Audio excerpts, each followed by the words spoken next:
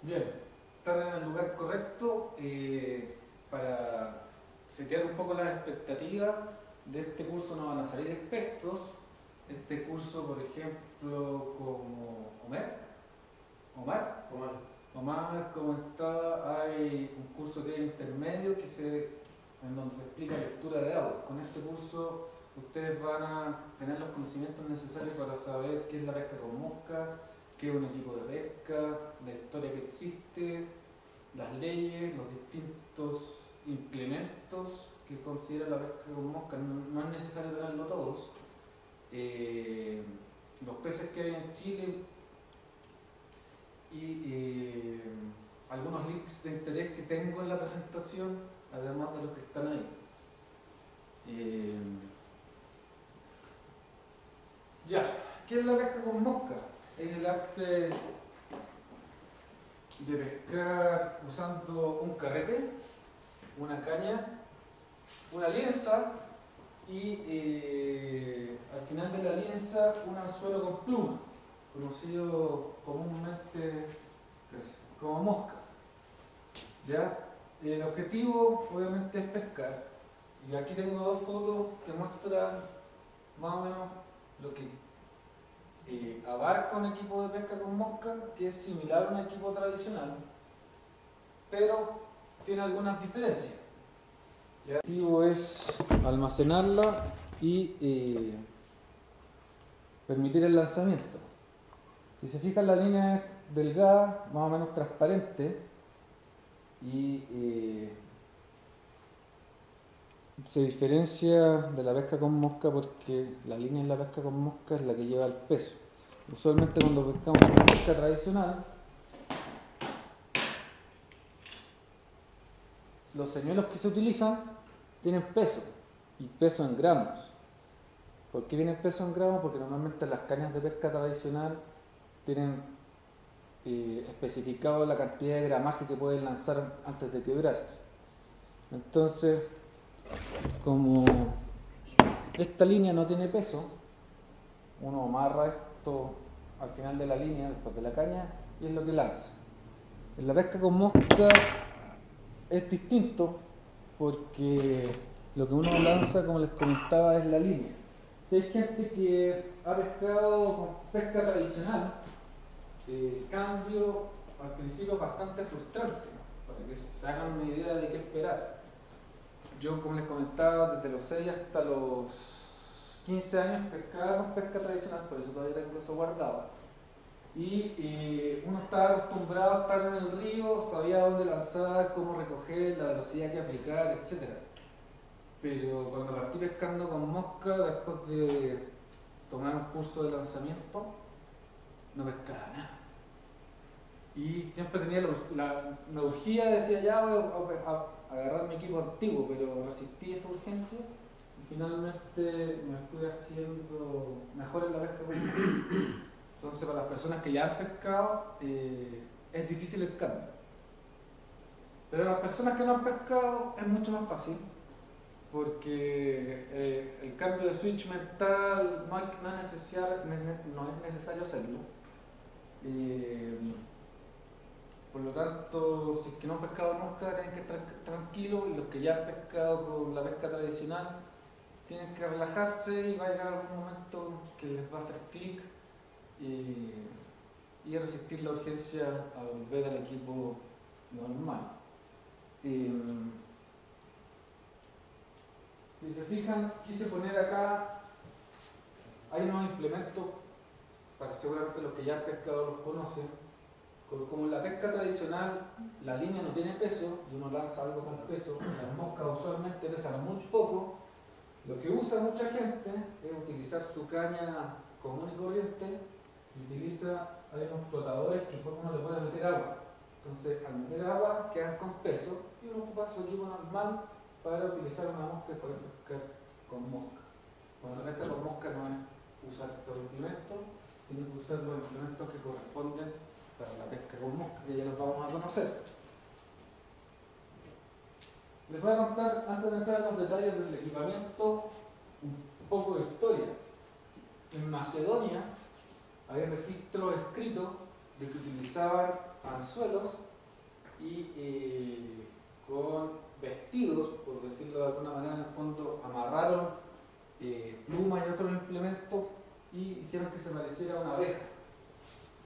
Después, eh, el resto de la evolución eh, se asentó en Inglaterra o en Reino Unido, donde existen tres textos de importancia que salieron en el siglo XV y uno de ellos, que es el que está acá, fue hecho por una dama, por una mujer que se llama Va Juliana y era eh, religiosa. Y aquí incluso en el libro que hizo ella describe cómo fabricar las cañas, describe cómo fabricar la línea. En esa época la línea se hacía de krill de caballo. Eh, no existía el carrete, se amarraban a la punta de la caña. Hay una técnica de pesca con mosca parecida hoy en día que se llama tencara, que la línea va fija en la punta de la caña. Hoy día no lo vamos a tratar, pero si quieren saber de qué se trata, pueden buscarlo en internet por tencara. Y después de estos tres textos del siglo XV, por ahí por 1800, eh, empezaron dos personas, ya existían los carretes, y dos personas que ya son en el mundo de la pesca con mosca son famosas. Una persona se dedicó a estudiar la pesca con mosca seca, ya vamos a ver qué se trata de mosca seca o mosca mojada. Y otro se dedicó a estudiar eh, la pesca con moscas húmedas, que en el fondo una es sobre la superficie del agua, que imita cierto tipo de insectos, y otra que es debajo de la superficie del agua, que imita otro tipo de insectos. O el mismo tipo de insecto, pero en otro estado de evolución del insecto. Y eh, como comentaba, todo de Gran Bretaña, la mayoría, después como Gran Bretaña colonizó Estados Unidos, Estados Unidos es conocido como el país donde hay más pescadores en el mundo, con mosca, y mueve una industria que mueve como 40 billones de dólares, incluido equipo, guía, alojamiento, viajes, etc. 40 billones de dólares. Y eso que es una industria chica. Después, voy a hablar del equipo.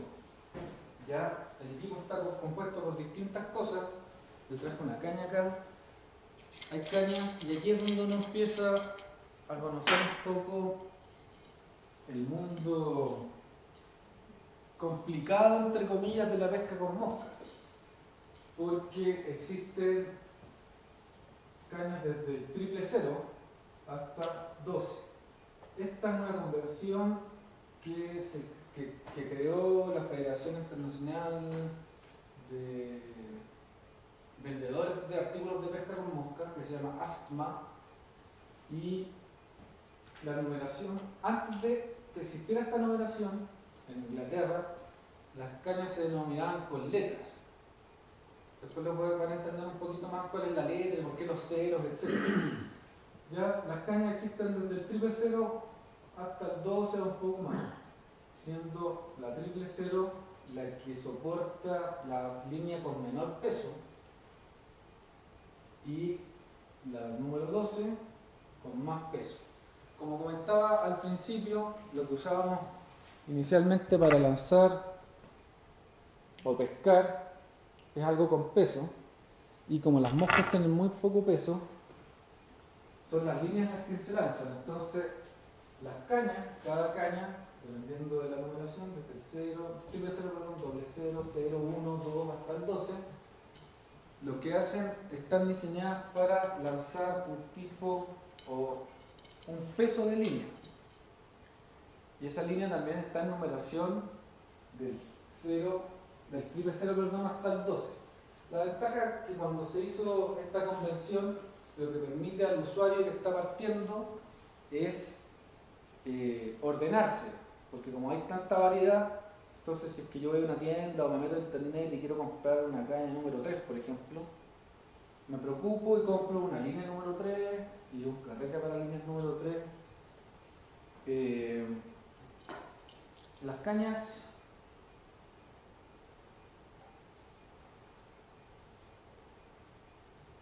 se fabrican en distintos materiales. ¿ya? Tenemos grafito, que es lo que se utiliza comúnmente hoy en día. Tenemos bambú, que se utilizó después de la evolución en Reino Unido. Las cañas que existían por ahí en 1800 eran todas de bambú. El problema del bambú es que hay que tener muchos cuidados para tener una caña de bambú porque al ser de madera, y si queda húmeda cuando la guardo se dobla, eh, dependiendo de los climas, por ejemplo acá en Calama, no sé si se han dado cuenta que se compra una puerta, la instalan y después queda todo doblado. Ese es los cuidados que hay que tener con el bambú. Después del bambú salió otra tecnología, por allá por 1950, que son las cañas de fibra de vidrio y que ahora hay todo un boom que está volviendo las cañas de fibra de vidrio, que la ventaja de la fibra de vidrio es que es un material, al igual que el bambú, relativamente pesado en comparación con el grafito. ¿ya? Eh, y existen, bueno, las de grafito, que son las que se utilizan hoy en día, existen en distintos tramos. Si ustedes se fijan acá, esta caña es de cuatro tramos, cañas de tres tramos, esta caña es de cuatro tramos, hay cañas desde una caña fija completa, en el fondo es una caña que no se desarma, después hay cañas de dos tramos, que es que usualmente se usaba por ahí por 1950, y hay cañas como esta, que son de cinco tramos, hay cañas hasta de siete tramos. La única ventaja de una caña de menos tramos es que cuando yo me desplazo de un lugar a otro o viajo en avión, andar con la caña de una sola pieza es complicado transportar. Ya, lo más usual hoy en día, y a mucha gente no le gusta, son cañas de cuatro tramos. Eh, ahora vamos, tengo, si seguimos hablando de las cañas, tengo una observación que hacerles con respecto a las cañas. Voy a ocupar antes de pasar a los carretes. Además de la numeración, y aquí es donde se empieza a poner complicada la cosa para acordarse de todos estos temas, además de la numeración de las cañas, que son del triple 0 hasta el 12, y del material con que se construyen, existen, voy a resumirlo en tres tipos de cañas suponemos que este es el mango de la caña, voy a dibujar al lado la, el otro modelo y lo voy a explicar.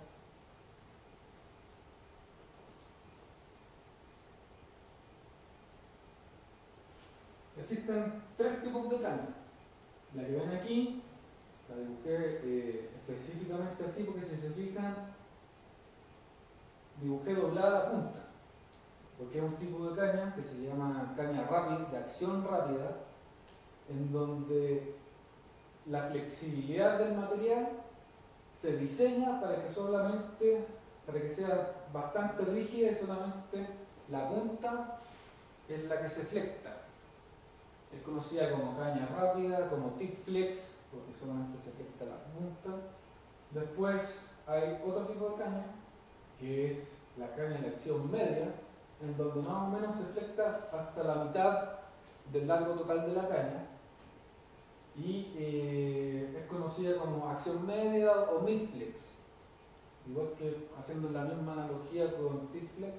Se lo estoy comentando en inglés porque si van a comprar algo pueden conocer los términos que se usan. Acción rápida o, tidflex, acción media o midflex y eh, acción completa o full flex. Si se fijan, esta caña se flecta hasta el mando. ¿Por qué quise detenerme antes de pasar los carretes? Porque cuáles son las ventajas o desventajas de las distintas acciones de las cañas. La ventaja de una acción, de una caña de acción tip flex, es que al ser más rígida, cuando hago el lanzamiento, aparte de lanzar la línea, la caña afectarse y antes de enderezarse genera energía potencial. Y al ser más rígida y flectar, y en el al hacer el lanzamiento igual se flecta, almacena más energía potencial y eso hace que la línea salga con mayor fuerza, por lo tanto obtengo mayor distancia. Entonces, una de las ventajas de las cañas triplex es la distancia. La otra ventaja es que cuando hay mucho viento, también es ideal contar con una caña de acción rápida o triplex. La acción, la caña de acción media es la que yo les recomendaría si ustedes no tienen equipo y comprarla. ¿Por qué? Porque cuando yo empiezo, empiezo con la pesca con mosca y empiezo a aprender a lanzar, es importante dentro del lanzamiento eh, sentir en la mano con que tengo la caña cómo se flecta la caña y cómo la línea que estoy utilizando la carga. Cuando, cuando, hablo de cargar, me estoy refiriendo a que cuando hago el lanzamiento, cuando estoy hacia atrás, esto, la caña se va flectando dependiendo de la parte del lanzamiento en que esté. Y si es muy rígida, esa sensación no la van a sentir. Y eh, hay un momento cuando la línea se tira hacia atrás, que si la caña no la sienten que se flecta bien, después cuando hacen el lanzamiento hacia adelante, no necesariamente les va a salir bien. Por lo tanto, como recomendación, si es que no tienen equipo, busquen o compren una caña de acción media. Eso les va a facilitar la sensación en la mano cuando estén lanzando. Y después existen las cañas de acción completa o full flex que eh, mucha gente las prefiere porque es el tipo de acción que tenían las cañas de bambú. Es una caña que en condiciones de viento para el lanzador que está partiendo no acompaña porque dado que se flecta con facilidad no almacena mucha energía potencial para poder hacer el lanzamiento. Y por lo tanto no es cómoda, pero sí, por ejemplo, si pescan un pez chico, una caña que se flecta harto, se siente como se lo está pescando un tiburón. Lo importante es que conozcan en estos momentos en el curso básico que existen este estos tres tipos de acciones en una caña y que si van a comprar un equipo, mi recomendación es que compren una caña de acción media. Ahora, si es que es una recomendación no más, porque finalmente depende de gusto. Si se meten en los foros y dicen, ¿qué caña me compro? Van a salir 20 personas recomendando 20 cañas distintas, porque las cañas finalmente pasan, creo yo, por un tema de gustos personales. Hay gente que les guste, que prefiere las cañas de acción completa, hay gente que prefiere las cañas de acción media, hay gente que prefiere las cañas de acción rápida. Usualmente en el sur, la mayoría de los guías y pescadores usan cañas de acción rápida o de punta, porque hay muchas condiciones de viento y les permite, además los ríos son más grandes, les permite pescar a mayores distancias, por lo tanto una caña que para el sur, cuando uno ya sabe lanzar, es la caña que prefiere la mayoría de las personas. Las líneas más altas o más pesadas están diseñadas específicamente para la pesca en el mar. Ya vamos a ver más adelante que todo está conectado. El tamaño de la mosca va a incidir en el número o peso de la línea. O sea, si no sé, estoy pescando con una mosca número 16, hay a son muchos temas, pero normalmente la línea que se utiliza es 4. Entonces, si es que voy a pescar normalmente con moscas 16, no voy a comprar la línea número 4, una calle número 4 y un carrete para almacenar esa línea. Normalmente, cuando uno parte pescando con mosca, parte al revés, se compra la caña que fue lo que me pasó a mí. me compré, o sea, yo no me compré, mi papá me regaló una caña número 7. Y una caña número 7, acuérdense que el triple cero es la más liviana y entonces la más pesada, utiliza una línea relativamente pesada para pescar en arroyos o ríos pequeños. Y bueno, con el tiempo no aprendemos. Entonces, para que se haga una idea, respondiendo a tu pregunta, la pesca en el mar sigue siendo pesca con mosca cuando siempre y cuando se utilice lo que les mostraba al principio un carrete para pescar con mosca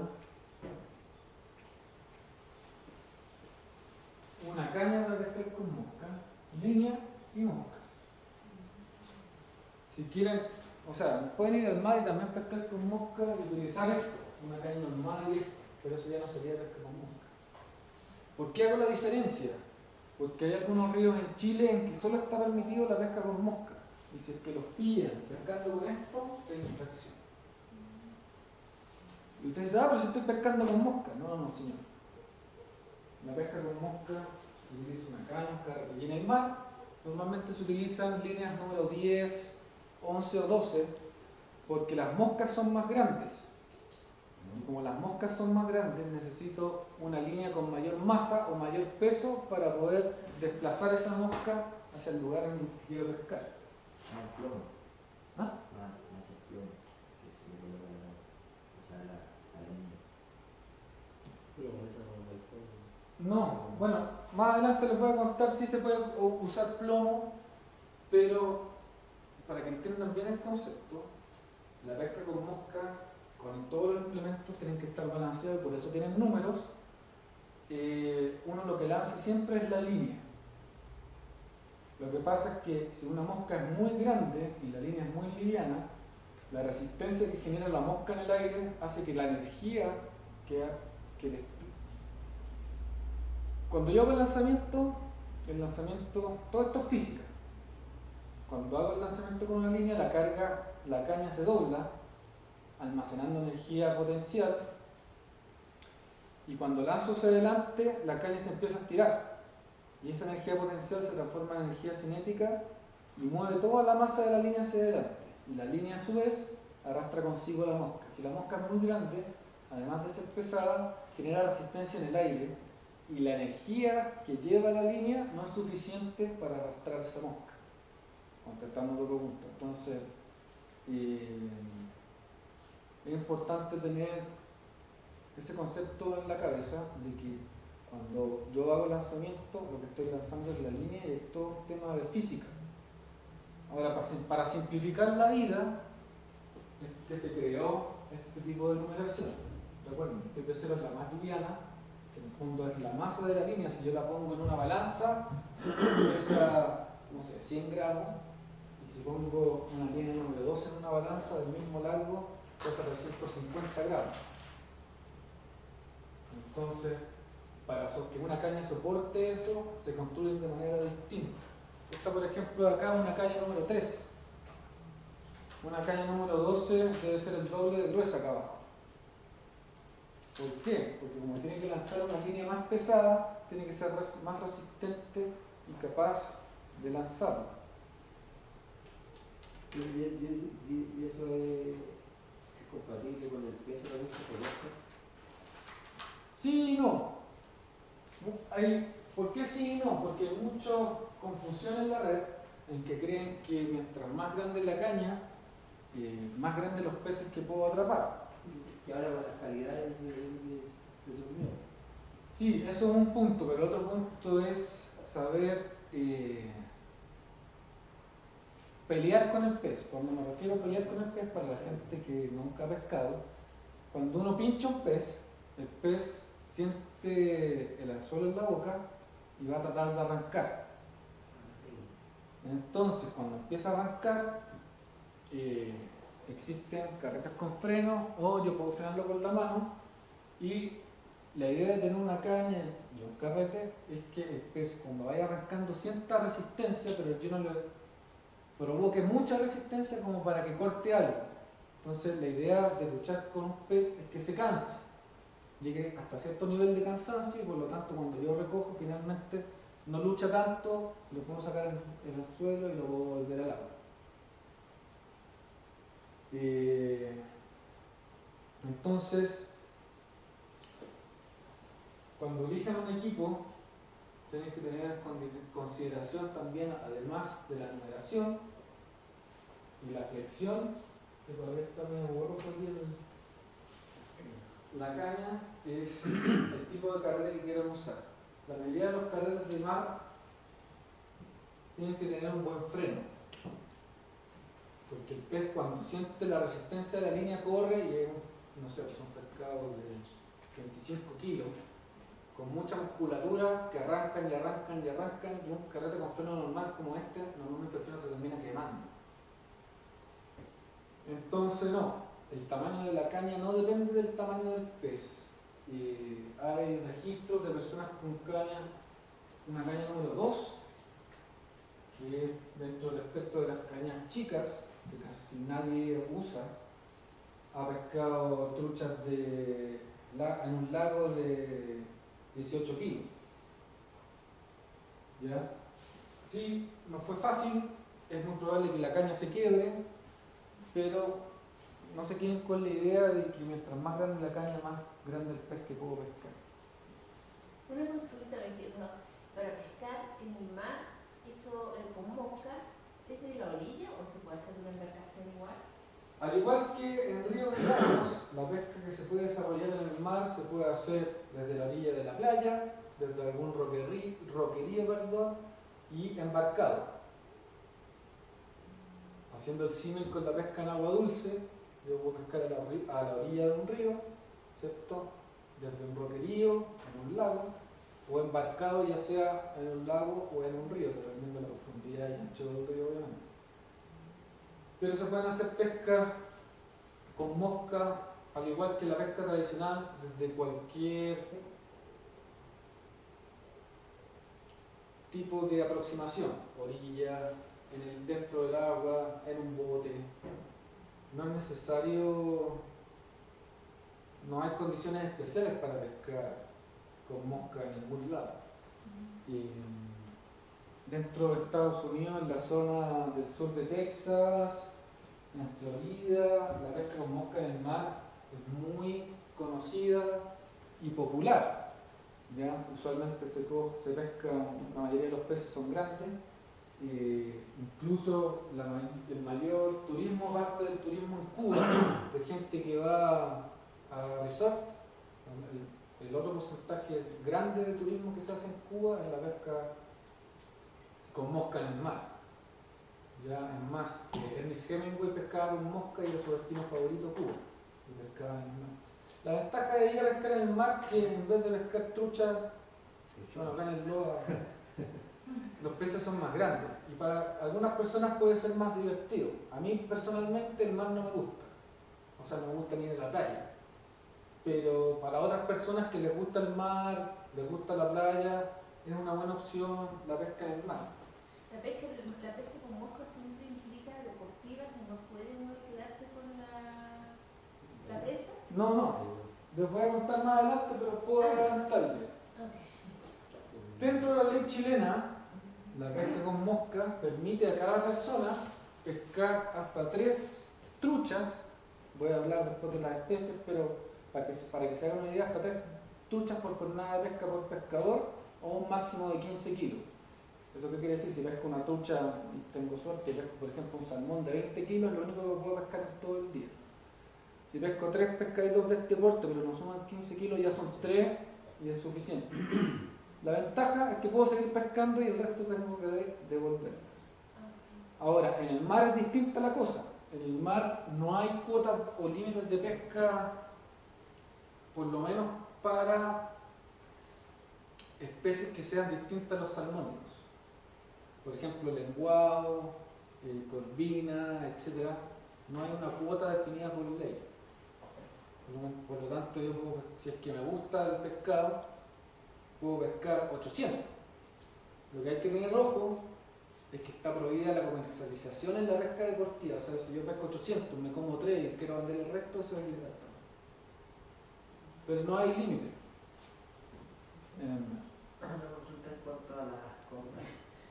Bien, habló de las cañas triple cero que vienen por medida hasta 12, ¿cierto? Sí. También de las cañas de acción rápida, de la media y de la completa. Claro. la- De la. Las medidas están desde triple cero a 12 en rápida, media y completa, Siempre, ¿sí? siempre. En cada una están tres, o sea, están todos los números. Sí, Y ahora, para esta zona, usted dijo una caña media, pero ¿de, de qué numeración? para esta zona yo pesco con caña número 0 o 1. A ver, cero. Pero es difícil encontrar un combo en 0 o 1. Entonces, lo ideal es que traten de encontrar el combo con numeración más chica, cercana a la 3 o la 4. Lo voy a mirar acá. El WT, el WT quiere decir weight, de la sigla en inglés de peso. ¿Por qué se los digo? Porque la mayoría de las cañas, si no todas, en el, en el primer tramo, cerca del mango, dice el peso que soporta. Y normalmente dice OWT, etc. En algunos casos fecha, número de serie, pero siempre va a decir 3WT. O gato, 3. Eso quiere decir que es para el día número 3. Eh, lo que no les comenté, pero si quieren se los comento para no meterle más cosas en la cabeza, además de la acción de la caña, hay largos. Desde 5 pies hasta usualmente pesca con mosca tradicional 10 pies. Es el largo de. De la caña. Ese es lo importante. Eso tiene que ver con, con el porte del pescador. No, Para la técnica No. de lanzar, o no. El tamaño de la caña tiene que ver única y exclusivamente con el gusto de cada persona y con la distancia que puedo lograr. Ahora, si es que estoy, hay ríos y esteros eh, en que está el estero, ¿cierto? Pero hay mucha vegetación. Entonces una caña muy larga voy a lanzar ¡pa! y me voy a pegar en los y hay gente que prefiere una caña más corta. 5 pies son 3 por son metro y medio, hasta 3 metros. O. Hay cañas más largas que son pesca con mosca, pero otro tipo de pesca se llama spey y que no me voy a meter en, este curso. Pero existen distintos largos y el largo más común, ya que me preguntaron qué caña recomiendo, entonces es de acción media. Esta es la acción para la zona. Idealmente 3 o 4 y entre 8 pies y 8,6 pies. Eso les va a permitir, por ejemplo, si hay alguien de acá que viaja al sur a pescar y tener una caña para ver si me gusta o no me gusta, y también quiere usarla, no sé, en el sur, idealmente es que se compre una 4. Pero si van a estar aquí en esta zona y pueden encontrar un combo en línea 3, se la compran en línea 3. Yo en mi canal de YouTube recomiendo en términos generales para Chile una caña número 5. ¿Por qué? Porque desde la zona central hacia el sur es como el tamaño intermedio que me sirve para todo, entre comillas. Acuérdense, ¿por qué digo que me sirve para todo? Porque como depende del peso de la línea, una caña número 5 me permite usar un rango más o menos amplio de tamaños de moscas. En el sur eh, las moscas pueden ser bastante grandes, eh, pero también el número 5 permite lanzar cómodamente moscas más chicas y moscas no muy grandes. Además, por la numeración, dado que hay viento, también es una numeración que se acomoda a condiciones de viento, porque a medida que sea más liviana la línea y por ende la numeración de la caña, la masa de la línea va a ser menor. Y cuando hay condiciones de viento, si algo es liviano y lo soplo, o viene el viento, se mueve solo. Pero si es más pesado, se mueve menos. Es por eso que en el caso de que, no sé, vayan siempre a pescar al sur, ahí en ese caso sería ya recomendable tener dos cañas. Uno para pescar en esta zona, otro para pescar en el sur.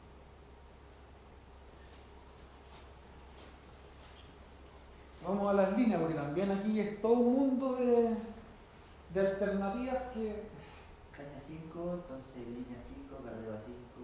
claro, Claro, es por eso es que la AFMA creó esta numeración. ¿Ya? Más, a lo mejor en un curso avanzado uno puede hacer combinaciones, pero cuando uno está partiendo se va a segura comprando todo, quiero un equipo número 3. Y si van a una tienda, un vendedor sabe que es una calle número 3, una línea número 3 y un carrete para que almacene una línea número 3. antes de pasar a las líneas, tengo acá una PPT en donde muestro lo que se llama backing, que no sé si lo vieron en el carrete, pero normalmente las líneas de pesca con mosca son de 90 pies, ¿ya? Y eh, muchas veces cuando uno pincha un pez, ya sea en el río, en el lago o en el mar, y el pez arranca, la línea no necesariamente, como les decía, es 90 pies, no es muy larga, por lo tanto hay que tener algo en el carrete que me permita tener la confianza de que si es que arranca más de 90 pies, yo tengo algo todavía en el carrete que eh, me permite continuar la pelea y no se corte o se tranque en ese momento. Eso se llama backing. ¿Ya? Es lo que anoté aquí, hay de distintos colores y es lo que se pone en el carrete antes de poner la línea. Es un tema desde el punto de vista de lo que se ve ahí blanco. Lo blanco del. ¿Tiene una traducción? ¿O es así nomás? No, no encontré ninguna traducción, pero es, es una línea que... Es como una línea de reserva, una cosa. Exacto, es una línea de reserva que me permite cuando un pez arranca y no y él tiene mucha fuerza y no quiero que se me corte el tippet, llamamos hablar del tippet, y arranca y arranca y arranca y se me va acabando la línea y se me acaba y se me acaba y, y de repente ¿qué hago si es que sigue corriendo? Bueno, normalmente los carretes caben aproximadamente 100 pies de vaca. Entonces eso me da, aparte de los 90 pies de la línea, me da 100 pies más de, de respaldo para poder seguir peleando con el pez y cansarlo y lo- lograr que traerlo a la red. Es un tema que no es muy importante, es importante que lo conozcan porque tienen que ponerlo dentro del carrete. Eh, hay de distintos resistencia desde 15 libras hasta 50 libras. Obviamente el de 50 libras se usa en el mar y hay de distintos materiales. Es un material trenzado que es inelástico. ¿Qué? Porque lo importante que dicen, ah, no tengo backing, le pongo, yo antes pescaba, le puedo poner la línea de mi carrete.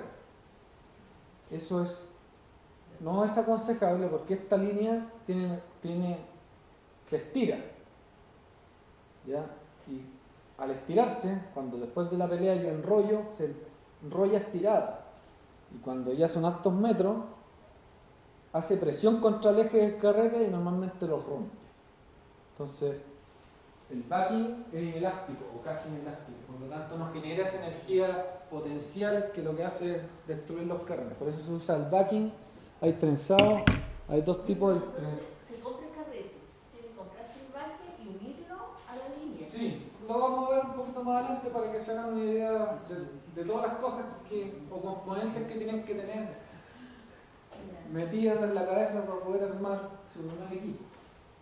Ya, como les digo, más importante, yo personalmente en carretes de numeraciones pequeñas uso backing de 12 libras, que es difícil de encontrar o conseguir, por eso puse de 15 acá.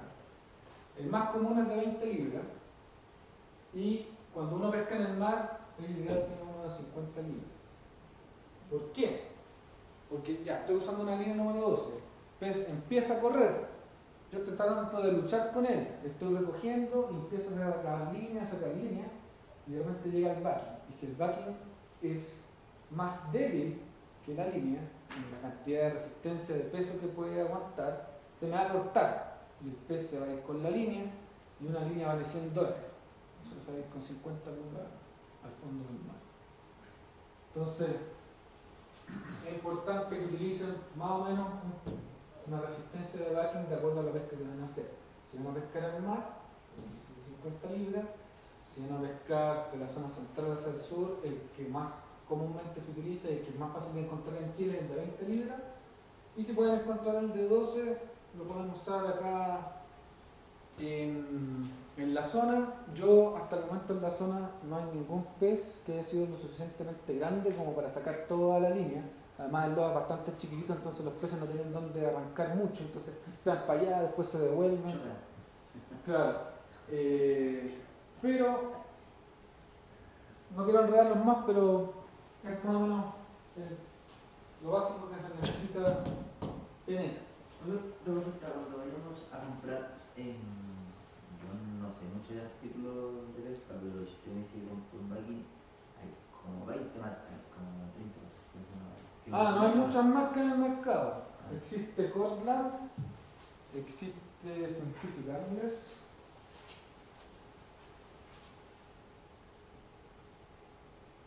Las más conocidas, porque pueden haber China. Existe Cortland, existe Scientific Anglers, existe Río, son como las típicas. Pueden buscar en eBay. Y ninguna es mejor que la otra. ¿Cuál es la segunda que nos va ahí? Scientific Anglers, también conocido como SA. Mejor. Cortland y Río. Estas, estas marcas también hacen líneas. ¿Son todas iguales entonces? ¿Ah? ¿No son todas iguales? ¿No hay diferencia? No. Si la única diferencia que puede haber es que existe otro material que se llama Hellspoon. Pero también es backing. Tenemos la foto acá. La diferencia de este versus este es que este es un compuesto plástico que no es trenzado. Este es trenzado. Pucha, lamentablemente no traje, no tengo backing aquí como mostrarles se deshilacha, pero no es importante en el equipo de pesca, es importante que lo tengan y que esté en su cadena. ¿Ya? No hay muchos temas técnicos en relación. Si bueno recuerdo la diferencia que tiene uno y el otro, que es trenzado, el otro que es plástico, que cuando el pez arranca un sistema de alguien tiene mucha tensión y con las piedras empieza a picarse, en cambio el otro no, no, no, no se pica. Ah, claro, pero Ese, ese- ese- ese es como el sketch dice, no, con esto tenés seguro y, y para durar más y todo esto. Sí, pero si me preguntan a mí, sobre todos estos años nunca he tenido ningún problema con el backing, en las piedras, nunca se me ha cortado, no, no sé si tenían suerte, pero si están partiendo o si es que llevan mucho tiempo, no es una conversación que se ve mucho ni los foros ni nada. En el fondo se los presento porque tiene que estar presente dentro del equipo que me voy a armar para poder pescar.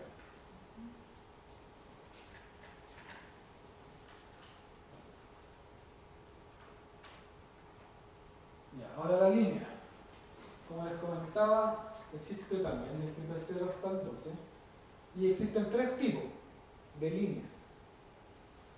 Una que es level o lineal, que en el fondo es como cualquier otra cuerda. Están hechas normalmente, existen, los más comunes son dos tipos de materiales, PVC y policarbonato, un material parecido al PVC, pero que no es tóxico, el PVC es tóxico, consideración. En el fondo, si, si ven a su perro mascando una línea de PVC, traten de no se lo traigan. Como les comentaba, tampoco el tema del material es tema. Hay gente que prefiere la de PVC, hay gente que prefiere el otro material, da lo mismo. La mayoría de las marcas de líneas las hacen en PVC, que son estas mismas de acá. Cortland, Río y Scientific Anglers hacen en PVC y hay una marca que se llama Airflow, que se escribe como ai- aire, air, flow, que también hace tippet y hace las líneas con un material distinto al PVC. Voy a adelantar para tener las tres ahí. Entonces tenemos una línea que es igual que un lápiz o con una cuerda más común y corriente, que es homogénea en su ancho a lo largo completo de la línea. En los dos materiales que existen.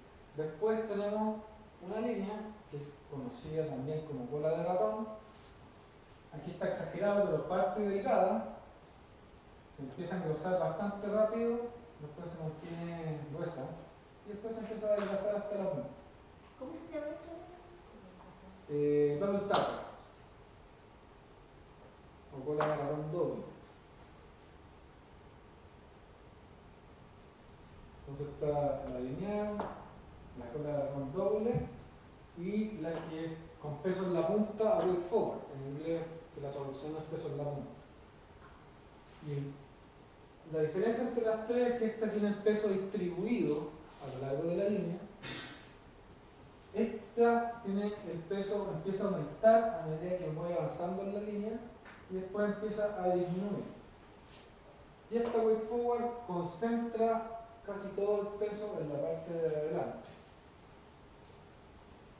Esta es simétrica en el sentido de que la mitad de allá es igual a la mitad de acá. Y esta, si yo me voy a la mitad de la línea, esta sería la parte delantera. Ahora les voy a explicar cuáles son las diferencias entre cada uno. La ventaja de esta línea es que al concentrar todo el peso hacia la punta, y como les comentaba al principio, todo un tema de física y de masa, como la masa está más concentrada a la punta de la línea, eh, el lanzamiento me, permite obtener mayores distancias. ¿Por qué? Porque como yo estoy lanzando, al tener toda la masa de la punta de la línea, lo que hace es cargar la caña, como que cuando carga la caña es cuando almacena energía potencial en la caña, como hay más peso, la caña se afecta más, y afectarse más guarda más energía, por lo tanto cuando se estira, impulsa la línea con mayor fuerza y puedo llegar a mayores distancias. Esta es la línea recomendada si se van a mostrar la línea porque les permite obtener mayor distancia, les permite sortear el viento con mayor facilidad que las otras líneas y les permite sentir cómo se carga la caña cuando estoy lanzando la línea. La ventaja, esa son las ventajas de esta línea. Ahora, la ventaja de esta línea es que si la tengo amarrada, esto es la cola aquí está el backing después del carrete, usualmente la punta es la que más se gasta.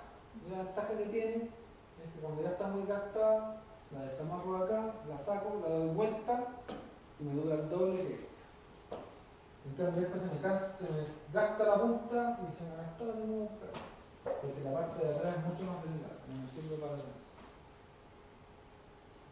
Y esta, al igual que la doble tapa, también es simétrica, también la puedo dar vuelta, pero es una línea que ya casi nadie vende porque al ser lineal no transmite adecuadamente la energía. Como antiguamente las, las líneas eran hechas de primero crin de caballo, después de seda, las máquinas que existían para bueno, al principio las mano, después con la evolución del tiempo las empezaron a trenzar en máquinas, las máquinas que trenzaban las líneas de seda no eran capaces de generar estas formas. Por lo tanto, existen, si compran líneas de seda existen, o bueno, ahora existen así, pero normalmente eran lineales. La desventaja de esta línea, la única ventaja que tiene es que la puedo dar vuelta. La desventaja es que no tiene una progresión desde más delgada hasta más gruesa, por lo que tampoco transmite adecuadamente la energía. ¿Por qué me lo quiero decir? La línea es esto, ¿no es cierto? Sí, esa es la línea. ¿Y dónde se ve eso que dice usted que está Ah, lo que pasa es que no es, no- esto está exagerado, ¿ya? No es que después de, no sé, una cuarta se empiece a engrosar. Es un, más o menos, cuando compran una caja de, de pesca, o sea, una caja de línea, en la caja viene qué tipo de línea es, y viene escrito en la caja, en la mayoría, no todas, y dice, esta parte hasta aquí son 7 pies. De aquí a acá son 8 pies. ¿Oye qué? Pies. Ah, Entonces dice el largo, mira, la, la parte más delgada mide, si lo usted, un metro ochenta. Después, los, el primer metro 80 es el más delicado. Después pues, se empieza a engrosar 2 metros, durante 2 metros empieza a engrosar y después ya es gruesa por los próximos, no sé, X metros. Por los próximos 60 metros. Y después vuelve a generar. Ahora, ¿por qué uno como pues, alguien que está pescando con mosca prefiere este tipo de línea, ya sea este o este? Porque cuando hago el lanzamiento, la línea se flecta y genera lo, que es conocido como un loop. Entonces, no sé si se ve todavía la caña ahí. Entonces cuando hago el lanzamiento, la línea se proyecta hacia adelante en un loop. Entonces a medida que este loop se va desarrollando y la línea se va estirando, a medida que voy avanzando, si la línea, por ejemplo esta, no transmite bien la energía porque la línea es siempre igual. Sin embargo, esta, a medida que voy a la, a la se va desarrollando el loop y se va desplazando la línea, la energía se va conservando. Porque si fuera siempre la misma masa, la energía se va perdiendo. Porque tengo que mover la misma cantidad de masa a medida que me voy desarrollando. Sin embargo, si me voy adelgazando, la masa va siendo menor, por lo tanto la energía eh, se transmite mejor. Y es por eso que esta línea de acá hay varios tipos de lanzamiento. Esta línea de acá es la mejor línea para hacer lanzamientos conocidos como eh,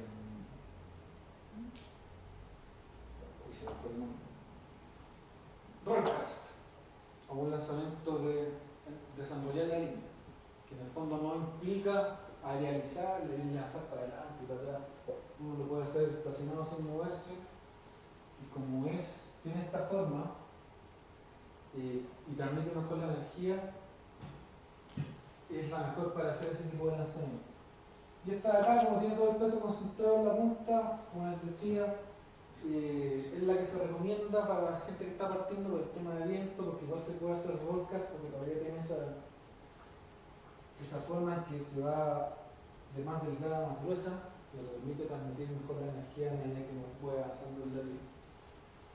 Y existen todo eso es toda una historia, porque de acuerdo a la AFMA, lo oficial que existe desde el punto de vista de peso es desde la 2 hasta la 16. Todo hacia abajo y todo hacia arriba lo han generado los fabricantes para vender más. Pero el estándar definido por la AFMA es de 2 a 16. Yo puse partir de 0 porque en esta zona ideal pescar con cañas pequeñas. Entonces es un dato y como Río es el que fabrica estas líneas, la empresa dueña de las cañas de la marca Sage también es dueña de Río. Y como Sage es la única empresa de cañas que fabrica desde el triple cero al cero, obviamente su misma fábrica tiene la línea para sus cañas. Eso es como un. Si es que busca líneas triple cero y cañas triple cero van a encontrarse con una sola marca que las, fabrica. Y acá está lo que yo les decía de las AFMA y de los pesos. Aquí he anotado el número de pesos de las líneas. Aquí está anotado el peso en grains, cuando un grain son 0,06 gramos. Entonces a medida que yo voy aumentando los pesos de las líneas, voy aumentando obviamente la masa o el gramo que tiene cada, una de ellas. Esta es la tabla, este es el ideal de pesos de acuerdo al estándar de AFMA y este es el rango tolerable.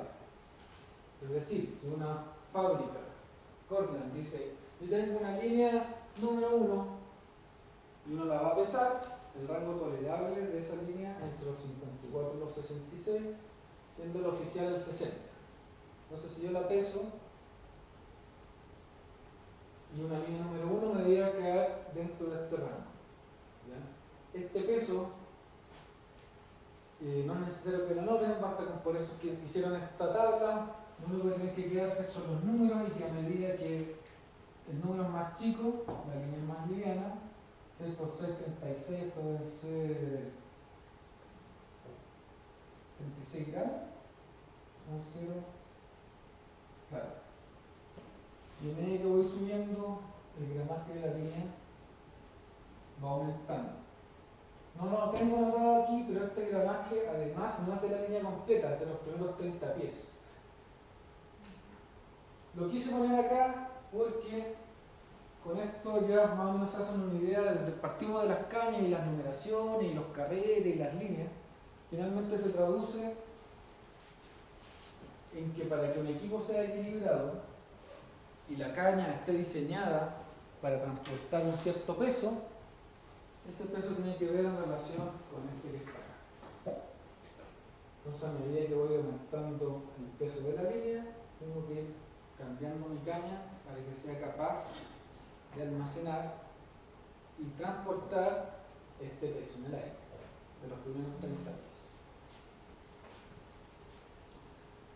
Si se fijan, a diferencia de la pesca tradicional, en que yo tengo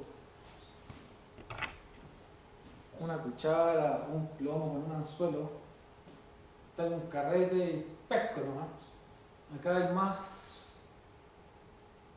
cosas que considerar y son muchas, por lo tanto es por eso que muchas veces la pesca con mosca se ve como así, oye, difícil, y sí, al principio cuesta digerir todo esto, pero mi mensaje para ustedes es que se queden con que existen pesos, existen cañas diseñadas para los distintos pesos de la línea, existen carretes como el vecino normalmente agrupados en estrés, porque a medida que voy aumentando el peso, el volumen de la línea va creciendo, por lo tanto un carrete puede almacenar estas líneas sin que quede muy lleno.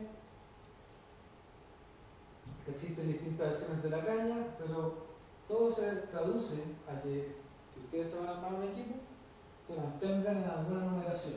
Como les comentaba, hay numeraciones ideales para o como caballito de batalla para todo Chile, sin considerar regiones como esta que los peces son muy pequeños y las moscas son muy pequeñas. Estas zonas son para cañas 3 o, inferior, después del resto de Chile normalmente una caña número 5, pero en regiones como Magallanes, etcétera, una caña número 7, 8 es más ideal porque hay mucho viento. Las moscas que se utilizan son mucho más grandes porque a medida que el pez es más grande, el pez es más depredador y anda a la búsqueda de alimentación de un tamaño o calibre mayor. Imagínense lo siguiente, cuando yo soy niño, un plato de comida de este porte es suficiente para no tener hambre durante la tarde.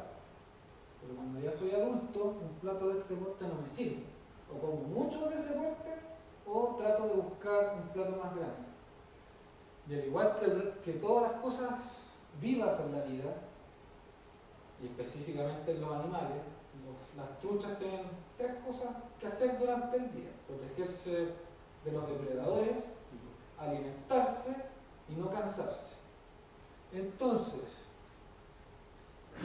en el sur, cuando ya un pez es bastante grande, si es que utiliza mucha energía para conseguir su presa y la presa de este corte, finalmente se va a terminar muriendo porque la cantidad de energía que come versus la que gasta para conseguir esa comida es desproporcionada, va a adelgazar, adelgazar hasta que se va a morir.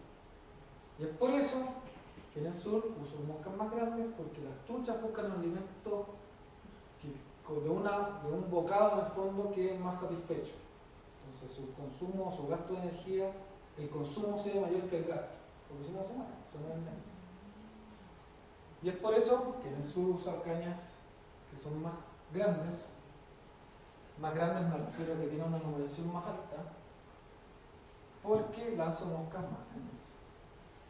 Y acá en el sur, perdón, acá en el norte, en el las truchas no son muy grandes, entonces usualmente tampoco, además, debido a las condiciones climáticas, los insectos tampoco son muy grandes, por lo tanto cuando hagamos una caña más chica, yo puedo cumplir la tarea o el objetivo de la pesca con mosca, que es Profesor, disculpe, no, no, no capté el tema de la, del rango de tolerancia. ¿sí? Ah, este rango de tolerancia lo puse aquí para que, de acuerdo a la Asociación de Manufactureros de Equipamiento de Pesca con Mosca, se definió que para una línea número, por ejemplo, 4, tiene que pesar 120 grains, que son como, por los 12, como, como 80 gramos. 0,1 gramo. Claro, pero el rango tolerable, que todavía caes dentro Ah, de la línea definición del 4. arma, es este. O sea, si te compras una línea y la pesa y los primeros 30 pies pesan 114 grains, entonces todavía es una línea número 4. Ah, ya, ya. Si pesa menos, es una línea número 3. Ya. Cuando uno ya lleva mucho tiempo, es demasiado fanático y tiene muchas líneas, lo que pasa es que de repente decís, chuta, ¿cuál es cuál? Entonces si tú la pesáis, Ah, te puedes cachar qué línea es. Si se fijan, les puedo aprovechar de dar un truquito. Que pueden partir usando ahora al principio, que es el que hago yo, que un lápiz indeleble le pongo rayita, que se quede una línea número tres. Ah, mira. Entonces, Que se me pidió una navaja. entonces es que, no sé, pues, la saco y la cambio, después a Entonces, contar 30 pies, ponerla en una balanza, mejor decir, ah, no, no lo ¿por qué le pongo otra rayita? No es idea mía, es idea de otro pescador. A.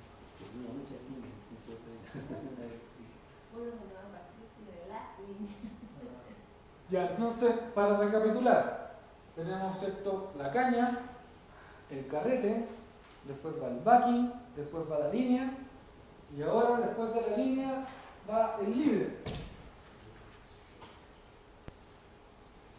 Y el líder, usualmente, ahora con el avance de la tecnología, es un pedazo de nylon que igual, al igual que la línea que está en el carrete, va desde más grueso a más delgado para transmitir adecuadamente la energía.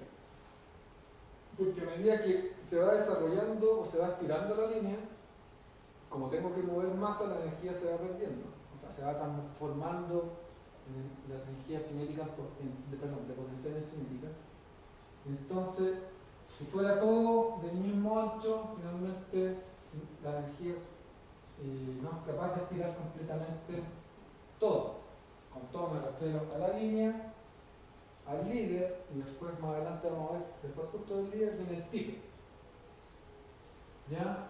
También tiene una numeración, pero en este caso no tiene nada que ver con la numeración ni de la caña, ni del carrete, ni de la línea. Yo sé que es harta información, pero les voy a hacer llegar esto.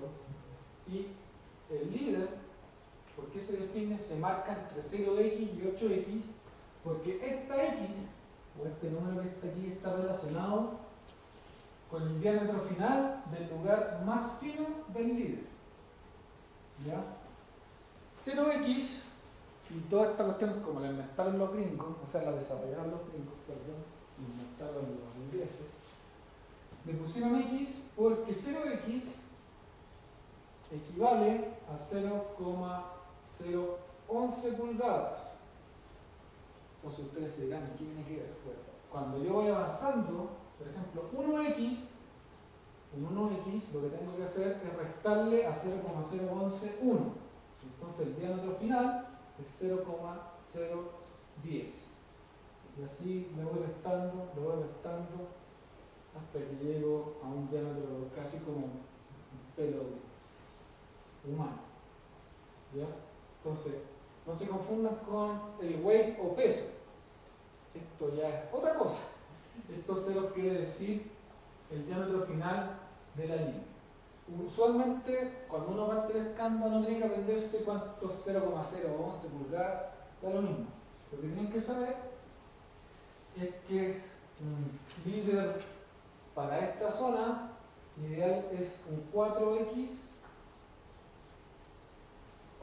no, funciona, pero pueden anotarlo ahí, un 4x o 5x.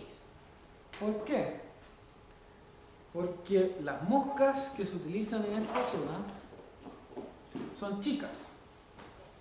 ¿Ya? Y eh,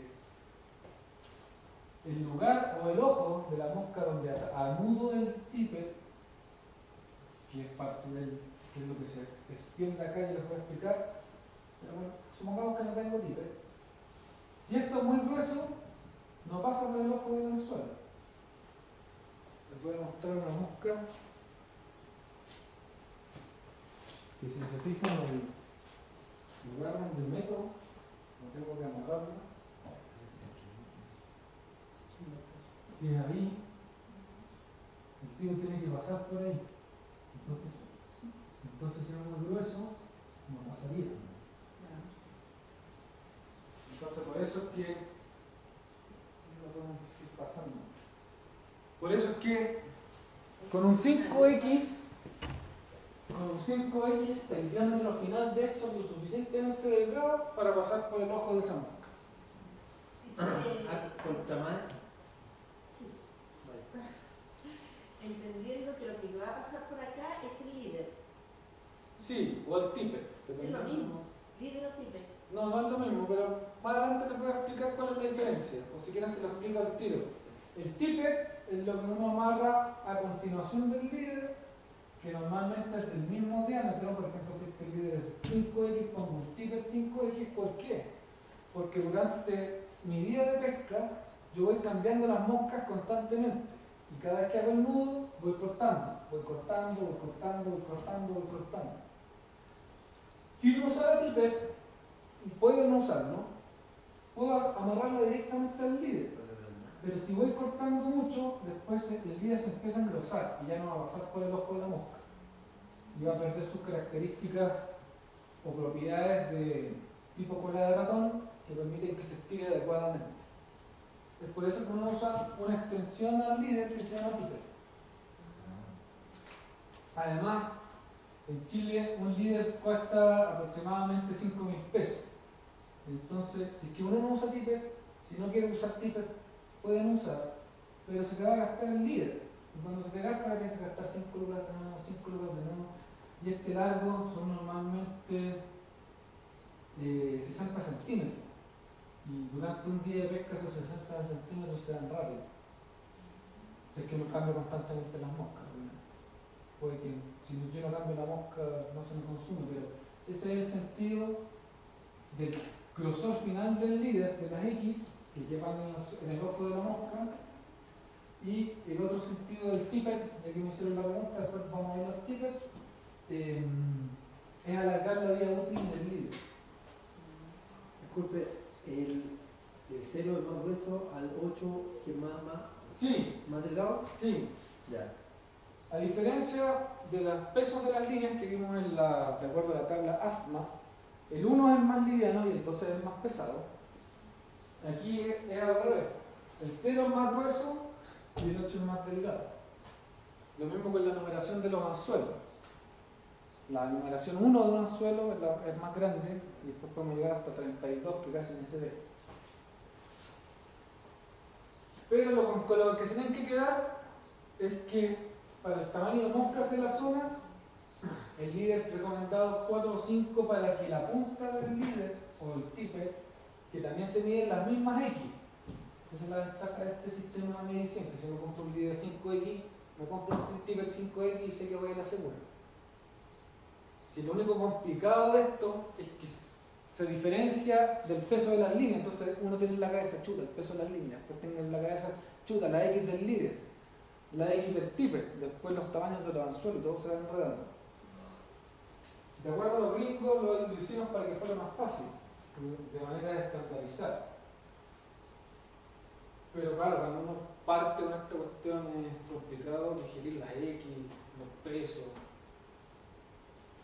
Eh, pero lo importante es que ya vamos terminando y llegando hasta el final. Entonces tenemos la caña, el carrete, el backing, la línea, el líder y el tipo que ya más o menos conté, creo que tengo ahí una imagen porque hay distintos tipos de líderes. Está el que uno se puede comprar fabricado, que viene, que es un pedazo de nylon sin nudos. Después uno puede comprar distintos grosores de nylon y hacer su propio tipper.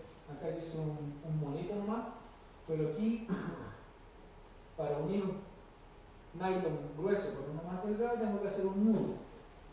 Después para unir un nylon grueso a uno más delgado, tengo que volver a hacer un nudo. Y hay gente que le gusta y hay gente que no. Hay gente que le gusta fabricar sus propios líderes. Entonces es más barato la carga. Al principio tengo que comprar un carrete, no sé, de 100 metros de varios grosores de nylon. Y después atándolos puedo generar mi propio líder. La desventaja es que los nudos a veces se enredan en las algas o en las anillas de la caña. Pero pueden hacer su propio líder. Quería que supieran que existen los que uno va usando, que también los venden ya fabricados. Hay fórmulas en internet de cómo hacerlo. O sea, que algo de grosor usar acá, que algo de grosor usar acá. Hay distintas fórmulas. Después está que uno puede comprar hecho, es difícil hacer esto en la casa porque una, máquina va desgastando el nylon a medida que va avanzando la punta. Y el otro tipo de líder que existen son trenzados. Y como es el más raro, traje uno. Y lo que se hace es, es parecido a una anilla normal de pesca. Y lo que hacen es utilizar un, ¿cómo se llama? Un nylon bien delgadito y se va trenzando. Y hay una máquina, no, se puede, hacer con una tabla de madera, es una cuestión especial para trenzar. Y si se fijan en este líder, al final del líder tengo una anilla de acero, que es donde después puedo convertir.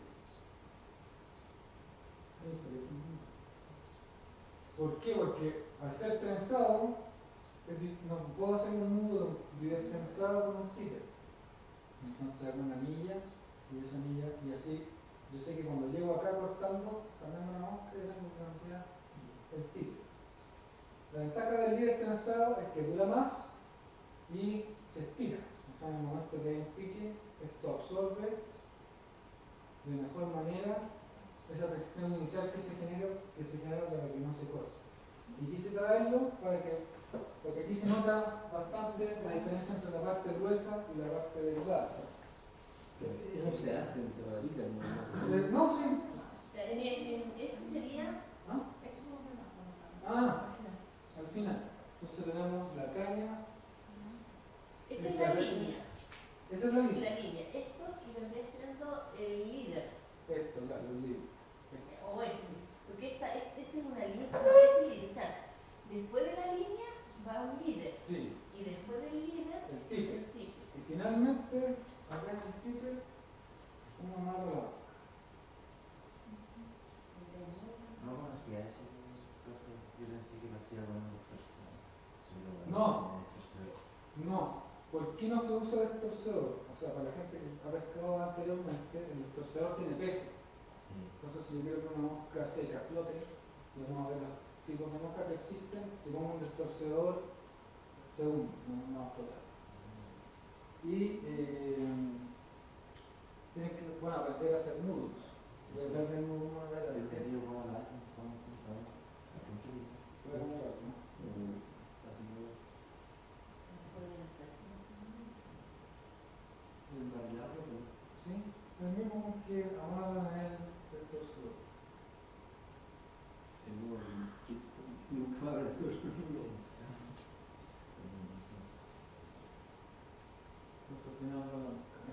Entonces tenemos la caña, el carrete, el backing, la línea, el líder, el ticket y la finalmente.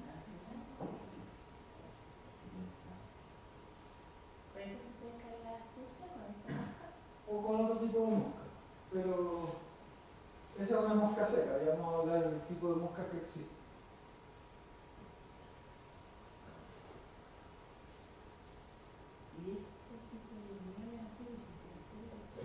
Es un nudo. Voy a hablar de nudos más adelante y eh, si me mandan un correo les puedo mandar un link, hay una página web donde los nudos son animados. Entonces pueden, claro, ver más o menos cómo se hace. Una de mis recomendaciones es que todas las cosas eh, más mundanas de la pesca con mosca, como armar el equipo, hacer nudo, lo practiquen en su casa, no tienen por qué ir al río. Eh, la mayoría de los cortes se producen en nudos mal hechos. Así ay, se me fue, y van a ver, ay, la mosca no está, porque se usualmente. Y esto de acá es lo que hago yo para unir el líder, o no vienen así. Las líneas más modernas vienen con un loop al final, como este, para poder amarrar el líder a la línea. Este loop no lo trae, yo se lo puse, ¿y por qué se lo puse en colores? Porque me permite detectar de mejor manera cuando pica. Entonces, con el loop es más fácil cambiar el type, el líder. Entonces si se me corta el, líder, puedo cambiarlo aquí. Más fácil, haciendo el mismo modo. Porque también el líder se puede amarrar directamente a la línea. En el fondo es como uno quiera, pero finalmente uno se va acomodando, buscando técnicas, no sé, pues seguramente su marido cuando, me estoy imaginando, cuando pesca, hacía pesca submarina, no sé, pues la Paul le ponía la grasa W20, por decir cualquier cosa, claro, todas esas cosas finalmente no es que estén escritas a fuego, sino que a medida que uno va aprendiendo, avanzando, que la acomoda uno, uno va adaptando. ¿Cuál es la reunión, la reunión que tienen ahí? Ah, la unión de la línea a esto se llama este nudo de clave. La traducción literal. Creo que está fundido, ¿sí? No, no, lo que yo hice es le pongo un pegamento encima. Yo pensé que le vendían el rim. No, no. Ya, entonces,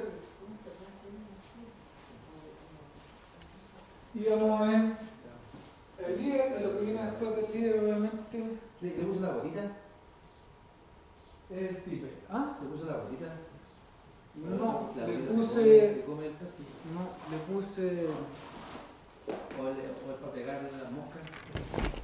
Le puse una cuestión que se llama V-Not Sense, que es un pegamento que es eh, con la luz UV se solidifica. Entonces uno lo pone y después con una luz negra o UV, la ventaja que tiene es que se, se seca rápido, o al sol también funciona. Pero puede ser la gotita, hay mucha gente que usa la gotita. Y- pero el problema que tengo yo con la gotita es que siempre me quedan pegados los dedos. Entonces hay que tener cuidado, es bastante peligroso el uso de la gotita. Bueno, entonces, recapitulando, tenemos la caña. La caña existe en distintas numeraciones para lanzar distintos números de línea, en distintos largos y con distintas acciones. Después viene el carrete, el carrete también existe con freno, sin freno, con multiplicador. Después el carrete se instala el backing, después del backing se instala la línea, después de la línea se instala el líder y después del líder se instala finalmente el tippet que se mide también en X. Yo les voy a mostrar, traje tippet, bueno, todo un poco. Y en las bobinas de tippet, en todos los tippets aparecen las X escritas y al lado aparecen los diámetros. Entonces, si uno tipe un líder 5X, utiliza un tipe 5X. O Y el líder con el Tipex son, son lo mismo. son, el tipe es una extensión del líder para que el líder te dure más. Eso es lo que es el tipe. Sí, pero tiene que ser la misma, la misma numeración. Puede ser la misma numeración o una numeración menor. Por Ah, ejemplo, si yo tengo un, tip, un líder 5X, puedo usar 4X. 4X, pero, no, que- no, pero no 6X. No. Sería ma- mayor diámetro del. del- Claro, y ahí volvemos al tema de la energía. Ya. Si voy disminuyendo el diámetro, voy preservando la energía y de repente pongo un diámetro más grande, lo que va a pasar es que ese líder no se va a estirar bien. Digamos que va a caer junto con el nylon ahí, la tucha, puede que se dé cuenta y no pique. Y existen dos tipos de materiales para los tipes. Yo personalmente pesco siempre con fluorocarbono y está el monofilamento negro. ¿Cuál es la diferencia entre los dos materiales? Bueno, una, el fluorocarbono es más caro. Dos, el monofilamento absorbe hasta un 10% de agua, el nylon, versus el fluorocarbono que absorbe 1,2 veces el agua, 1,2% de agua. El fluorocarbono es más resistente a la abrasión, por lo tanto si pasa sobre las piedras o me enredo en las ramas, me dura más el fluorocarbono. El fluorocarbono además eh, tiene menor índice de reflexión. ¿Qué quiere decir eso? Que cuando está debajo del agua, la luz o las fuentes de luz que atraviesan el agua y llegan al tipe o líder, porque las líderes también se pueden estar en estos materiales, como el índice de refracción es mayor, la luz no rebota en él y por lo tanto no se, no se, es como casi que queda invisible debajo del agua y el peso no lo ve. La desventaja sobre el monofilamento del fluorocarbono es que el monofilamento tiene un peso específico de 1,1, siendo el agua 1, por lo tanto flota. El fluorocarbono un peso específico 1.75 y se hunde. Pero a pesar de que se hunde, yo lo prefiero porque uno le puede echar una pastita, unas pastitas para que las cosas floten, las moscas floten, las líneas floten. Entonces yo uso fluorocarbono y cuando necesito pescar con mosca seca, y para explicar lo que es la mosca seca, utilizo fluorocarbono con esa pastita. Claro, entonces, si se fijan, hemos avanzado un gran trayecto porque hay muchas cosas que están metidas y más encima los números no son los mismos. Tenemos del 1 al 2 en el caso del peso de las líneas, que es a, mayor numeración, mayor peso. Y ahora tenemos que, en el caso de los líderes y tipex, a mayor numeración, más delgada el tipo. Porque no entiendo acá por qué tiene colores distintos. Ah, te lo voy a explicar. Usualmente se ponen en coloraciones distintas o a veces otras marcas, en la wincha dice la X. En este caso la coloración distinta es porque cuando yo lo miro, no tengo, ah, ¿cuál es este? Yo sé que el rosado 7, el verde 6 y el amarillo 5. O sea, ahí en ese carrete vienen Sí, se 7, Ah. 6 Sí. y 7. Ahora estoy entendiendo. Y por eso vienen distintos Ah, colores. y Todos juntitos, no están dando vueltas al chaleco verde. Esos carreras están... Claro, entonces yo lo junto y así no se me pierdan y yo pongo para las puertas. Claro, entonces cuando yo lo miro, para no tener que separarlo, sé que el 6 Hay otras marcas, porque estas marcas varias, hay otras marcas, creo que Científica Angers y Río, en el elástico aparece la X. Entonces si uno lo gira, 4X, bici, 4X, 3X, Y, Que diferente triple que... Claro. Y si fijas, todo eso son de fluorocarbono.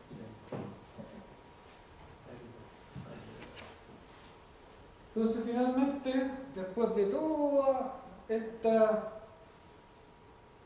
hora y media de hablar de cañas, tipos de cañas, flexiones de cañas, largos de cañas, backing, tipos de carrete, tamaños de carrete, líneas, tipos de líneas, tamaños, pesos de líneas, el estándar asma y los líderes, los tipes. Ahora vamos a pasar a las moscas.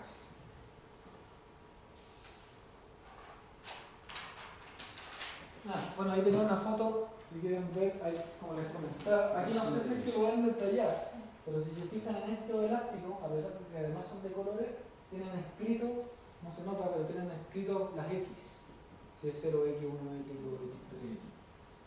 Y existen de distintas formas y tamaños, normalmente son todos así chiquititos. Y una cosa que tienen que saber que puede ser importante para ustedes, no necesariamente, es que si compran la misma marca, las pueden poner una junto a la otra. Si compran distintas marcas, normalmente no aplicar. Claro, no se pueden apilar. Si no les molesta, da lo mismo. Y si les molesta, les gusta hacer una ordenadita, que esté todo junto, tienen que preocuparse de que sea la misma marca, si no, no se pueden apilar. Ya. Ya tenemos casi todo el equipo cubierto. Nos falta lo más importante, que en el fondo es lo que la trucha o el pez finalmente termina masticando, que son las moscas. hay distintos tipos de moscas. Y, como pueden ver acá en la pizarra, hay moscas secas. La mosca seca lo que imita es un insecto adulto o un insecto que vive fuera del agua. Por ejemplo, un saltamonte vive en el pasto, pero por temas de viento que calculó mal termina cayendo en el río y la trucha se alimenta de él, es conocido como mosca seca. Y la mosca seca, al ser un insecto que vive fuera del agua, que sea siempre o a veces, es la, la pesca que se realiza sobre la superficie del agua. Entonces, si dejamos esto fuera, tema de la tractora ya se lo voy a explicar, de aquí para arriba, o sea, secas, se pescan las moscas sobre la superficie del agua. Después tenemos las, las húmedas, las ninfas y los streamers, que son moscas que se pescan por debajo de la superficie del agua. La mosca húmeda fue una de las primeras moscas que se usaba en Inglaterra y se pesca justo debajo de la superficie del agua. Imita insectos ¿Se pesca por, disculpe? debajo de la superficie del agua. De aquí para arriba, seca para arriba, sobre la superficie del agua. Estas tres, húmedas, ninfas y escrimas, se pescan debajo de la superficie del agua. Y tenemos las atractoras que ya voy a explicar de qué se trata.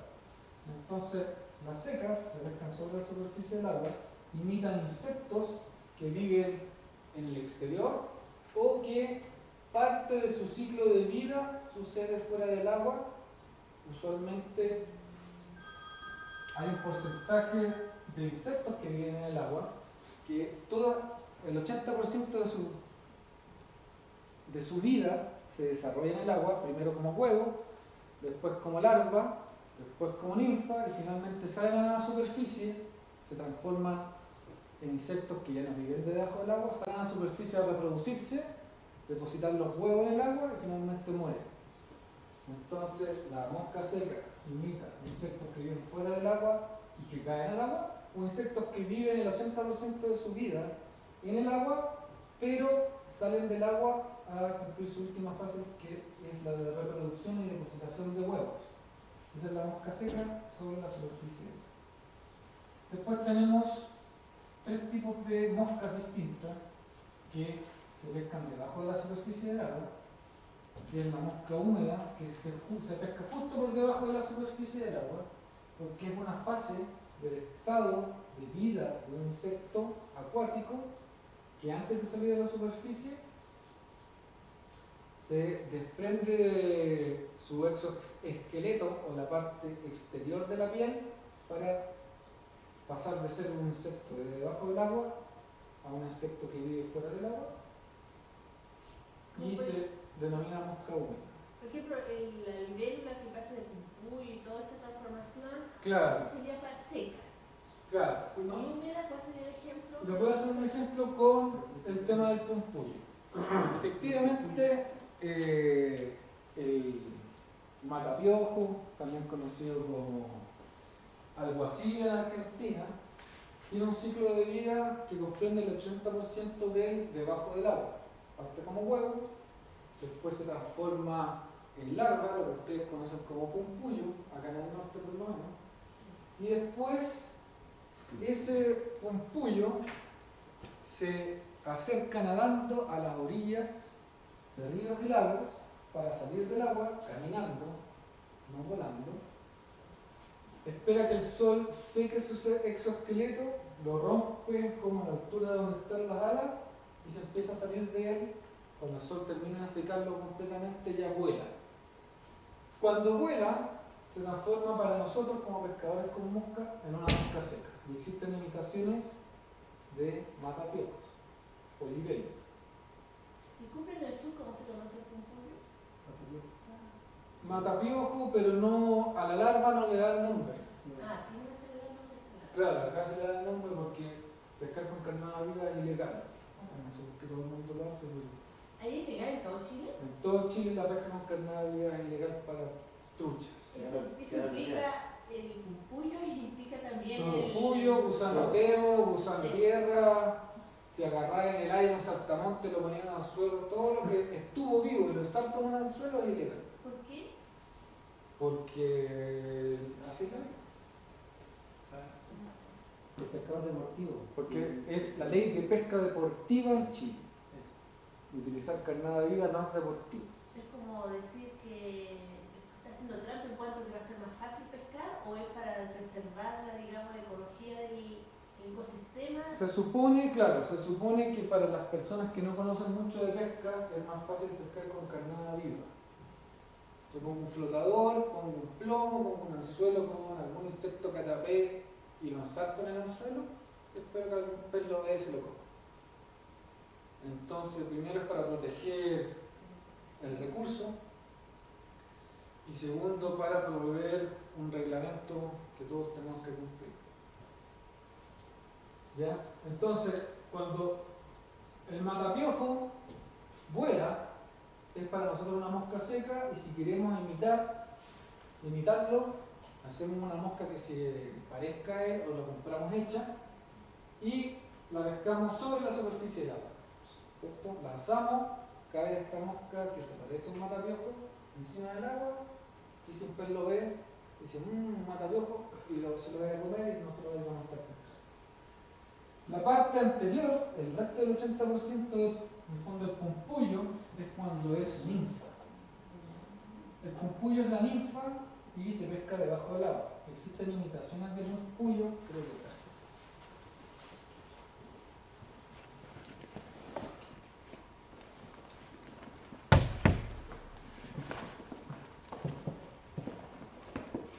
Para la gente que lo conoce,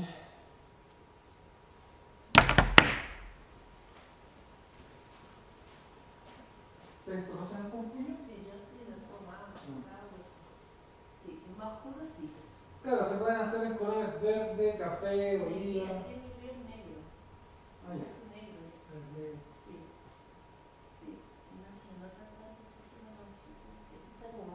es una larva más desarrollada. Claro. Uno- Uno- Ese es un ejemplo, ese es un ejemplo de una ninfa. Esa mosca se pesca debajo del agua porque imita a la fase ninfal del insecto. Pero se le denomina mosca igual, efectivamente, y su apellido es ninfa. Y este tipo de mosca tiene que hacerlo alguien como ¿viste? hacerlo más artístico. Eh, hay gente que pesca con mosca que hace sus propias moscas. Existe una prensa, existe una prensa especial para afirmar el anzuelo y hacer la mosca y venden los materiales para hacerlo. O si no, uno puede comprar las moscas ya hechas. ¿Cuánto sale más o menos una mosca así? Depende, mil pesos más. Si es que uno la compra hecha. Si uno las hace, yo he calculado que el promedio son entre 200 y 300 pesos dependiendo de la calidad del anzuelo, que es lo más caro. No es necesario saber hacer mosca, hay mucha gente que pesca con mosca y no hace mosca. Y hay gente que sí las hace, venden los materiales, venden las herramientas para hacerlo. Para Corrígame, profesor, si estoy correcto, que para hacer mosca ya tiene que estar eh, especializado el viejito y tiene que ir al terreno y ayuda a pescar y dar una vuelta, ¿no por el río, lo que encuentra y empieza a fabricar. Es lo que yo les explicaba al principio. En la clase, hay una clase avanzada que habla de entomología. Y ahí es donde uno aprende los tipos de insectos que existen, sus fases, si vive fuera del agua, si vive debajo del agua, y si vive debajo del agua es eh, ninfa o pupa, porque hay varios estados larvales dependiendo del tipo de insecto que es huevo, pupa, ninfa y adulto, o hay otros que no pasan por pupa y pasan directamente desde huevo a ninfa y adulto. Entonces, en una clase avanzada uno aprende esas cosas y ¿por qué las aprende? Porque normalmente ya está haciendo sus propias moscas. Ahora, no es necesario, como decía, no es necesario saberse todas las X, todos los pesos, y en el caso de las moscas tampoco es necesario saberse los nombres. Lo importante es ser observador y cuando voy al río y veo un insecto, acordarme de su forma, tamaño y color para comprar una mosca que sea lo más parecida. Primero en tamaño, después en forma y después en color, en ese orden. Forma, tamaño. Forma, tamaño y color. Y después, y esto es básicamente moscas que imitan insectos. Las secas, las húmedas y las mías. Después tenemos la clase de moscas que se llaman streamers, que imitan otros peces.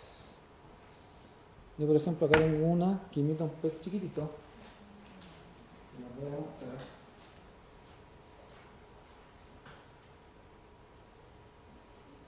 Las streamers son moscas que se pescan también debajo del agua y que imitan otros peces.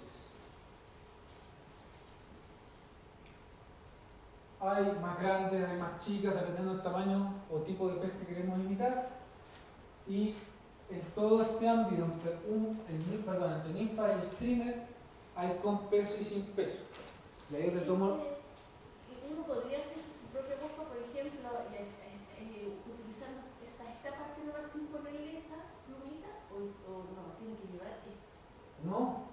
No, como las cosas, no hay una fórmula matemática para hacer una mosca. Lo importante es que desde el punto de vista de lo que quiere imitar se parezca.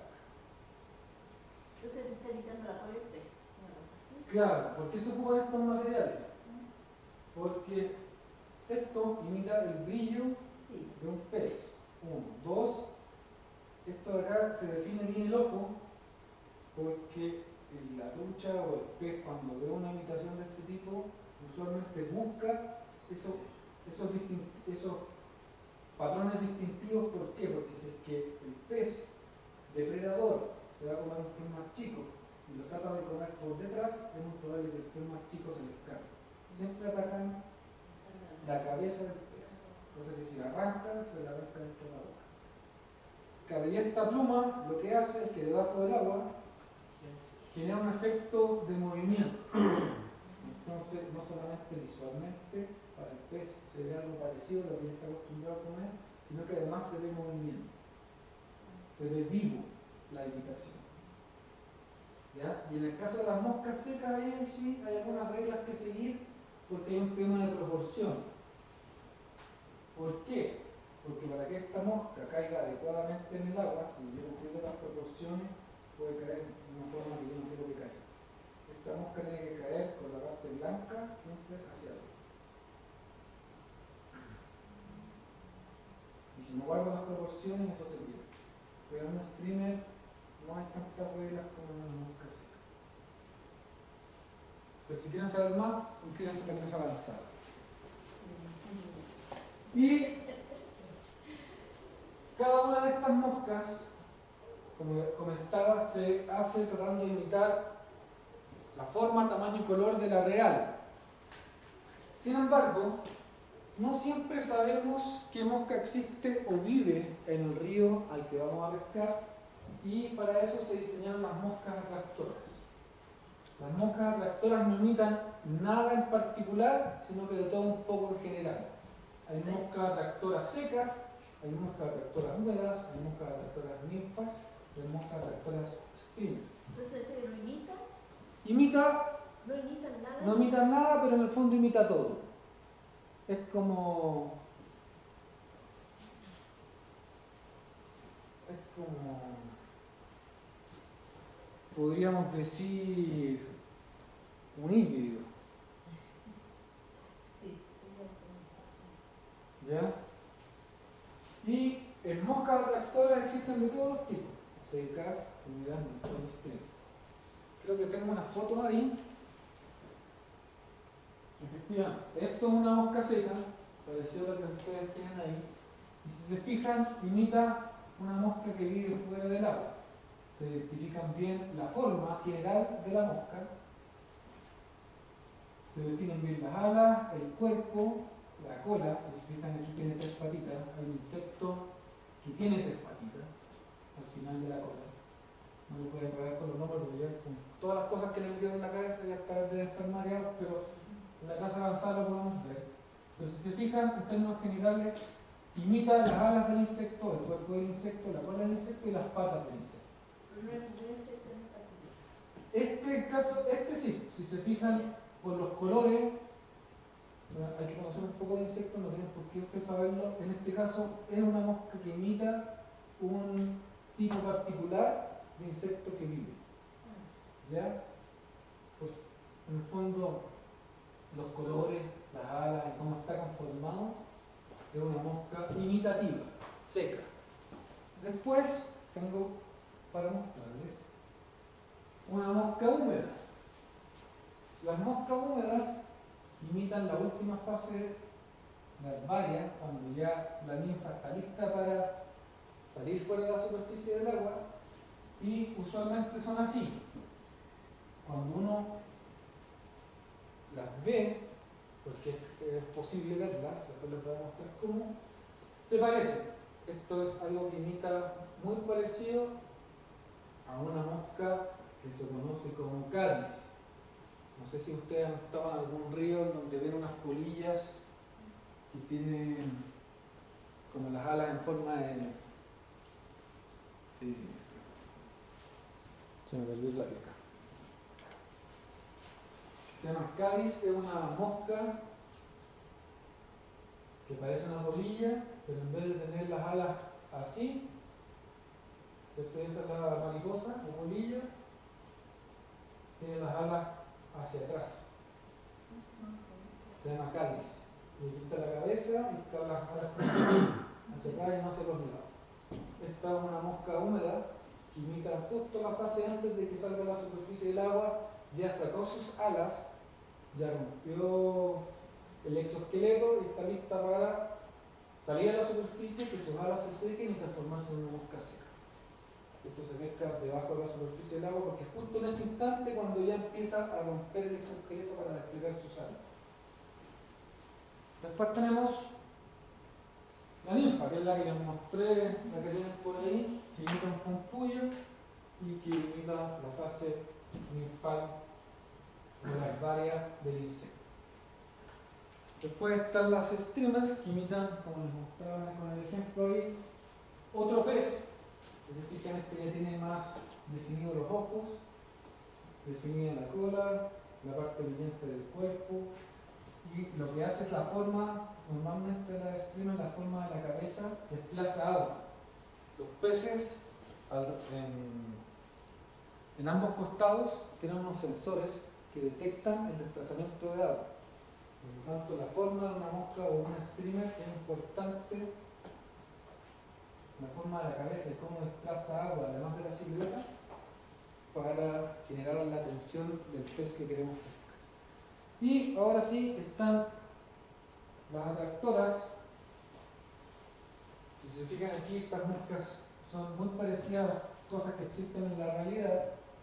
A lo mejor ustedes que no lo conocen, se llama sculping y crecen, lo más grande que crecen son así, existen en- en los ríos del sur de Chile y normalmente son verde oliva o café. Y estas de acá, abajo, son moscas atractoras. Aquí tengo una mosca atractora seca. Esta cuestión no se parece a nada que, que exista vivo, pero se parece a todo. O sea, no se parece a nada en particular, pero se parece a todo en general. ¿Ya? Entonces, se llaman atractoras porque si yo no sé qué poner, normalmente uso moscas atractoras para ver si están picando en la superficie o debajo del agua. Esta mosca de acá, y lo peor de todo que además de todo lo que les expliqué, todas las moscas tienen nombre. Eh, esta mosca de acá se llama Gulliver, la mosca más típica, yo de cualquier parte del mundo que haya, puedo pescar con esta mosca. Se llama existen en distintos colores, y si se fijan, es parecida a esta, pero no es igual. Entonces un pez, para un pez, puede ser, eh, puede confundir esta mosca con esta. Si yo no sé que en un río existe un sculping, pero como una Gulliver, es probable que pique, si es que el pez está ¿Cómo se llama? ¿Cómo se llama? ¿Ah? ¿Cómo se llama? ¿Esta? Gulliver. ¿Cómo se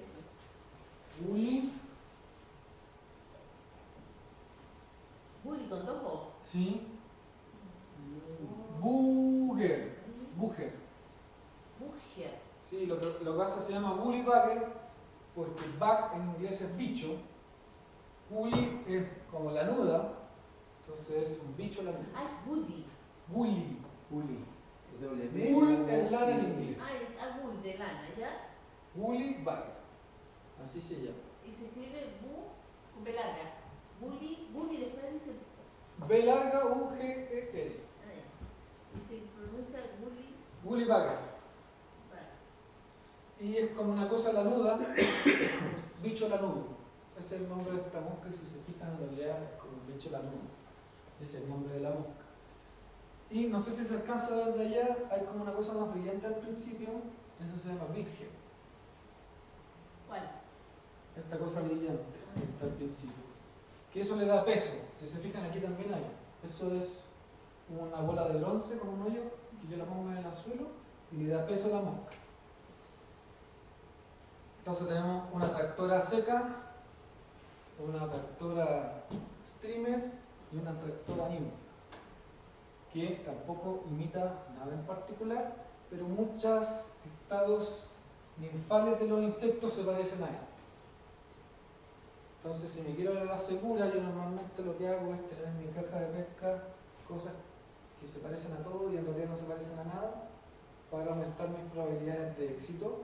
Porque cuando yo pesco con mosca, a diferencia de pescar con equipamiento legal para pescar, hacer pesca deportiva en Chile como una cuchara, lo que yo trato de hacer es imitar el alimento del pez para pescar. Cuando yo utilizo cucharas, no estoy imitando el alimento del pez, porque estoy generando son vibraciones en el agua y generando las truchas en particular y muchos peces son territoriales. Entonces estoy generando la agresividad del pez cuando pesco con ese tipo de implementos. Entonces unas cosas, las personas que ya pescan así, tienen que hacer el cambio de mentalidad que lo, único, lo que uno hace con la pesca con mosca es tratar de imitar el insecto o el alimento de la trucha. No solamente con las moscas, sino después cuando ya aprendan a lanzar y a pescar en el agua, tienen que imitar no solamente al insecto, sino a cómo vive usualmente en el agua. Las moscas secas usualmente se posan arriba del agua y no hacen nada más. Salvo los santamontes que realmente tiran las patitas para tratar de salirse del agua. Por lo tanto, cuando uno está pescando una imitación de saltamonte, lo tiene que dejar caer en el agua, dejar que el agua lo- se lo lleve y de repente hacer pequeños movimientos como imitando las tiradas de las patitas. En el caso de las streamers, lo que yo quiero hacer es imitar un pez de verdad. Por lo tanto, cuando pesco con una streamer, además de hacer el lanzamiento, tengo que recoger con pequeños tirones como imitando el movimiento, dándole vida a la mosca.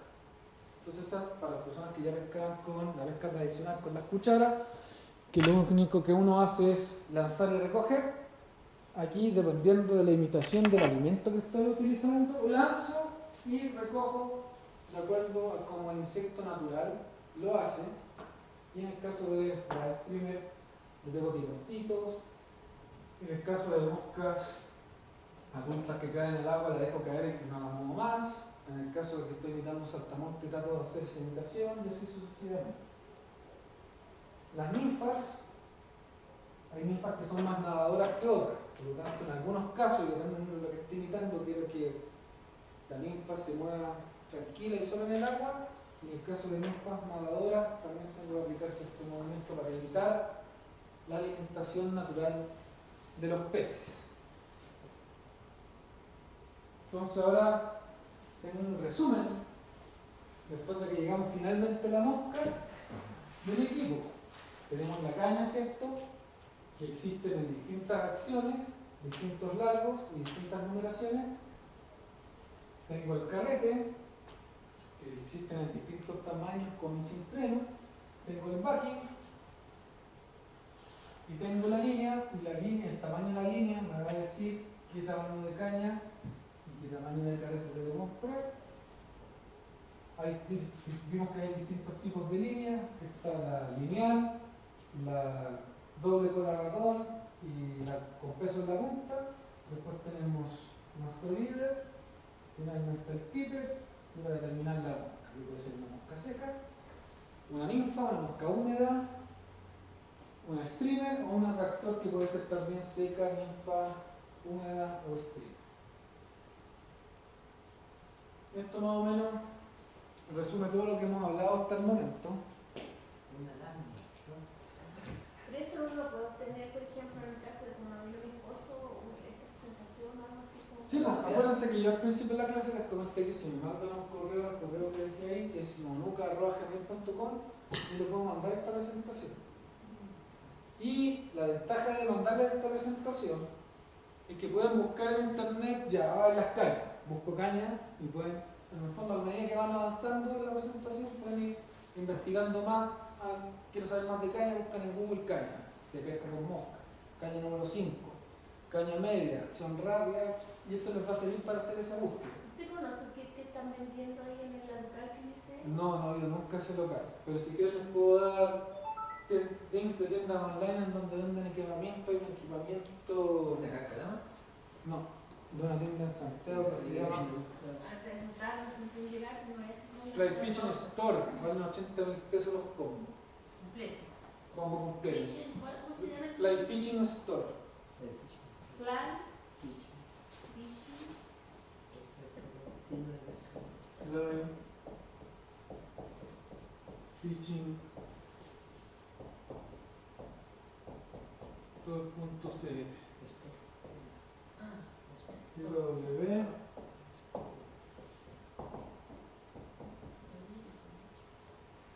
Ahí venden combos hechos, hay una tienda que se llama Rodangan o Chile Rivers, que también está en Santiago, después en todo Chile. Hay otra tienda que se llama Masita Fly. Hay varias tiendas en Chile que Yo quiero un combo hecho y, por ejemplo, ya nosotros yo quiero cargar un combo hecho y le digo de qué especificación para esta zona. Claro. ¿Qué puedo decir ahí? El combo ahí tú puedes decir, yo quiero el combo, como le explicaba, si uno dice el combo caña número 5, te venden todo, el carrete, el backing, la línea número 5, la caña número 5. Y en Fly Fishing Store estuve mirando ayer antes de venir para acá porque supuse que me iban a hacer la pregunta. Y incluye la caña, el tubo de la caña, la funda de la caña, el carrete, la funda del carrete, el backing, la línea, líder, tipper y tres moscas y una caja de moscas. que por Eso 80 es mil como pesos. 80 mil pesos. Sí, más o menos. Y acá tengo una tabla de resumen que yo les explicaba cuando me hicieron la pregunta, oye, para un pez grande necesito una caña grande. Y yo les dije que era falso porque había cañas chicas habían pescado truchas grandes. Y les dije que tenía relación con el tamaño del anzuelo. Bueno, el tamaño del anzuelo está escrito aquí. ¿Ya? Y va desde 050, que es un anzuelo como este volado, hasta 28, que es un anzuelo más chico de la mosca caseta que está por ahí. Y aquí puse las distintas numeraciones de las cañas. Por ejemplo, una caña número 5 es adecuada para pescar con moscas chicas, el número 20, que es más o menos el número de la mosca que está ahí, esta con plumita blanca por acá, hasta el número 6. No sé si tengo la mosca número 6 porque son muy grandes. No. Este es un que ha- ¿qué número sería? Es como 8. Ese es otro tema, que las moscas, al igual que en el tipo de líder, a medida que el número es más grande, la mosca pues, es más chica. Ese sería el número 8. ya. Ya estaría bien. Lo que pasa es que, claro, cuando uno ya sabe lanzar y hay distintas técnicas de lanzamiento, uno se puede mover más en esta amplia gama de cosas. Yo con una calle número 1 he lanzado ese puyo. Que está por acá. Pero con esto se pueden hacer una idea también.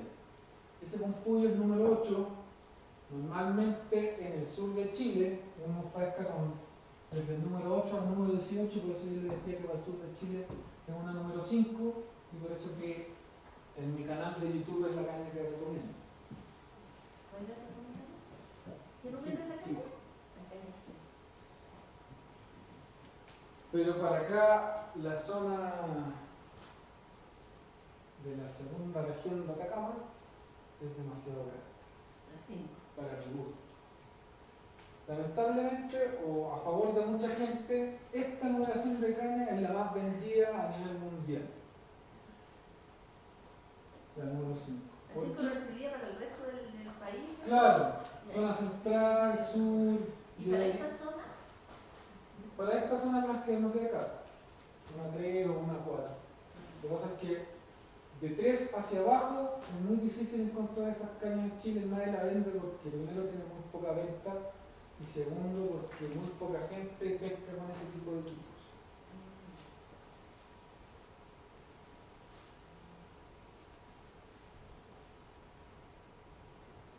Y aquí vamos a los nudos. Yo les dije que íbamos a hablar de los nudos. Tengo en esta lámina los nudos que van como el nudo del backing al carrete. Y lo que se hace es un nudo normal como uno haría cuando el primer nudo que hace cuando se va a amarrar el zapato, lo hace una vez alrededor de la línea que va de la línea larga, digamos que siempre el extremo más corto, y después hace un nudito más chico y eso es suficiente. Después, un nudo ciego, ¿no? Claro, un nudo ciego, dos nudos ciegos. Un nudo ciego alrededor, si ven, si este es el tamaño, este es la Sí, línea. un nudo ciego que abrace el- la línea. Y Claro, otro nudo ciego para que el... claro, para que tranqui no se desarme. Después, para amarrar.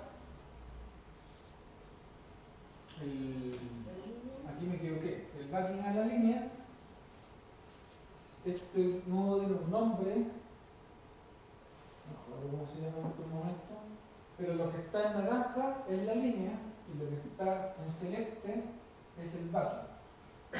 Básicamente lo que hago es doblo, ah, ojo que algunas líneas, como les explicaba, las más modernas, este loop ya está hecho.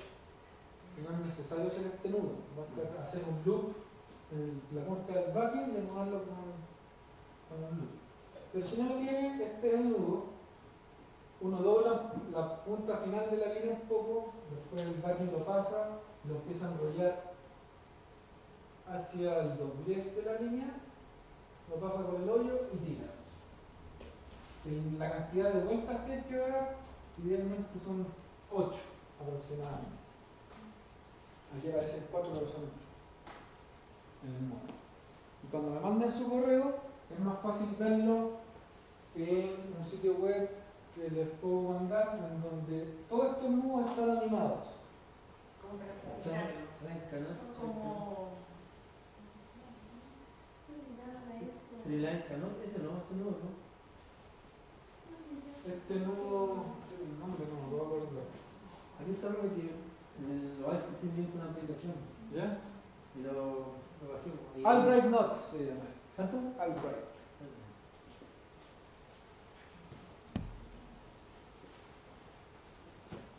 Este de acá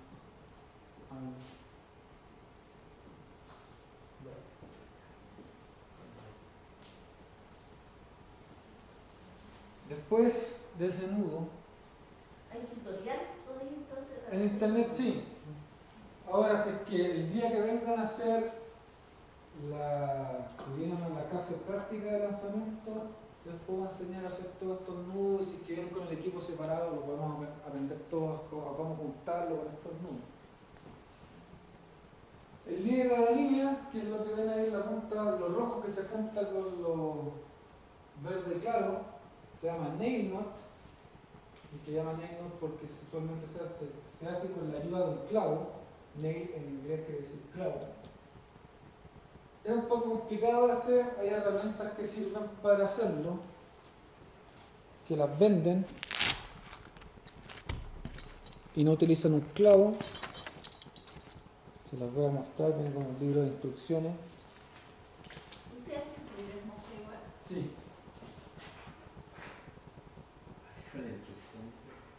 Que la guardé porque después me compro cuestiones no se acuerda cómo se usa esta cuestión.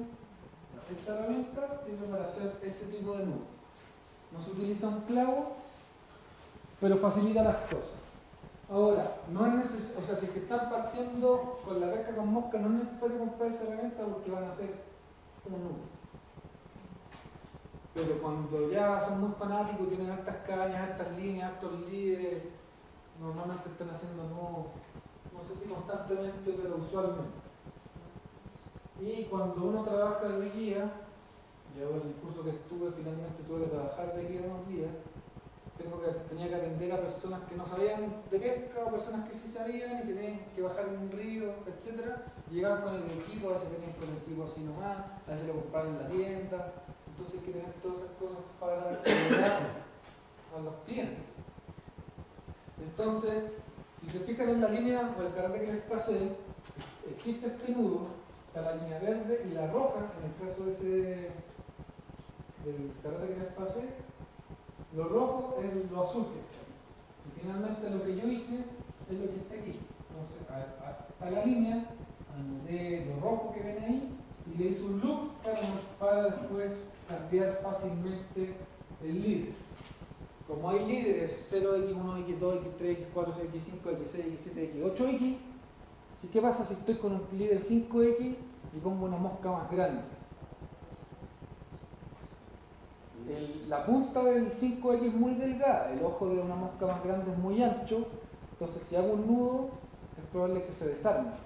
Cuando hay mucha diferencia de tamaño, entonces yo quiero cambiar el líder y la forma más fácil de cambiarlo es con este look como está ahí karate que dejé. Ya, tampoco es necesario que se lo aprendan a hacer de memoria. Como les digo, si es que van a armar su equipo, lo pueden ver en internet o si no, si tienen el curso yo los puedo ayudar.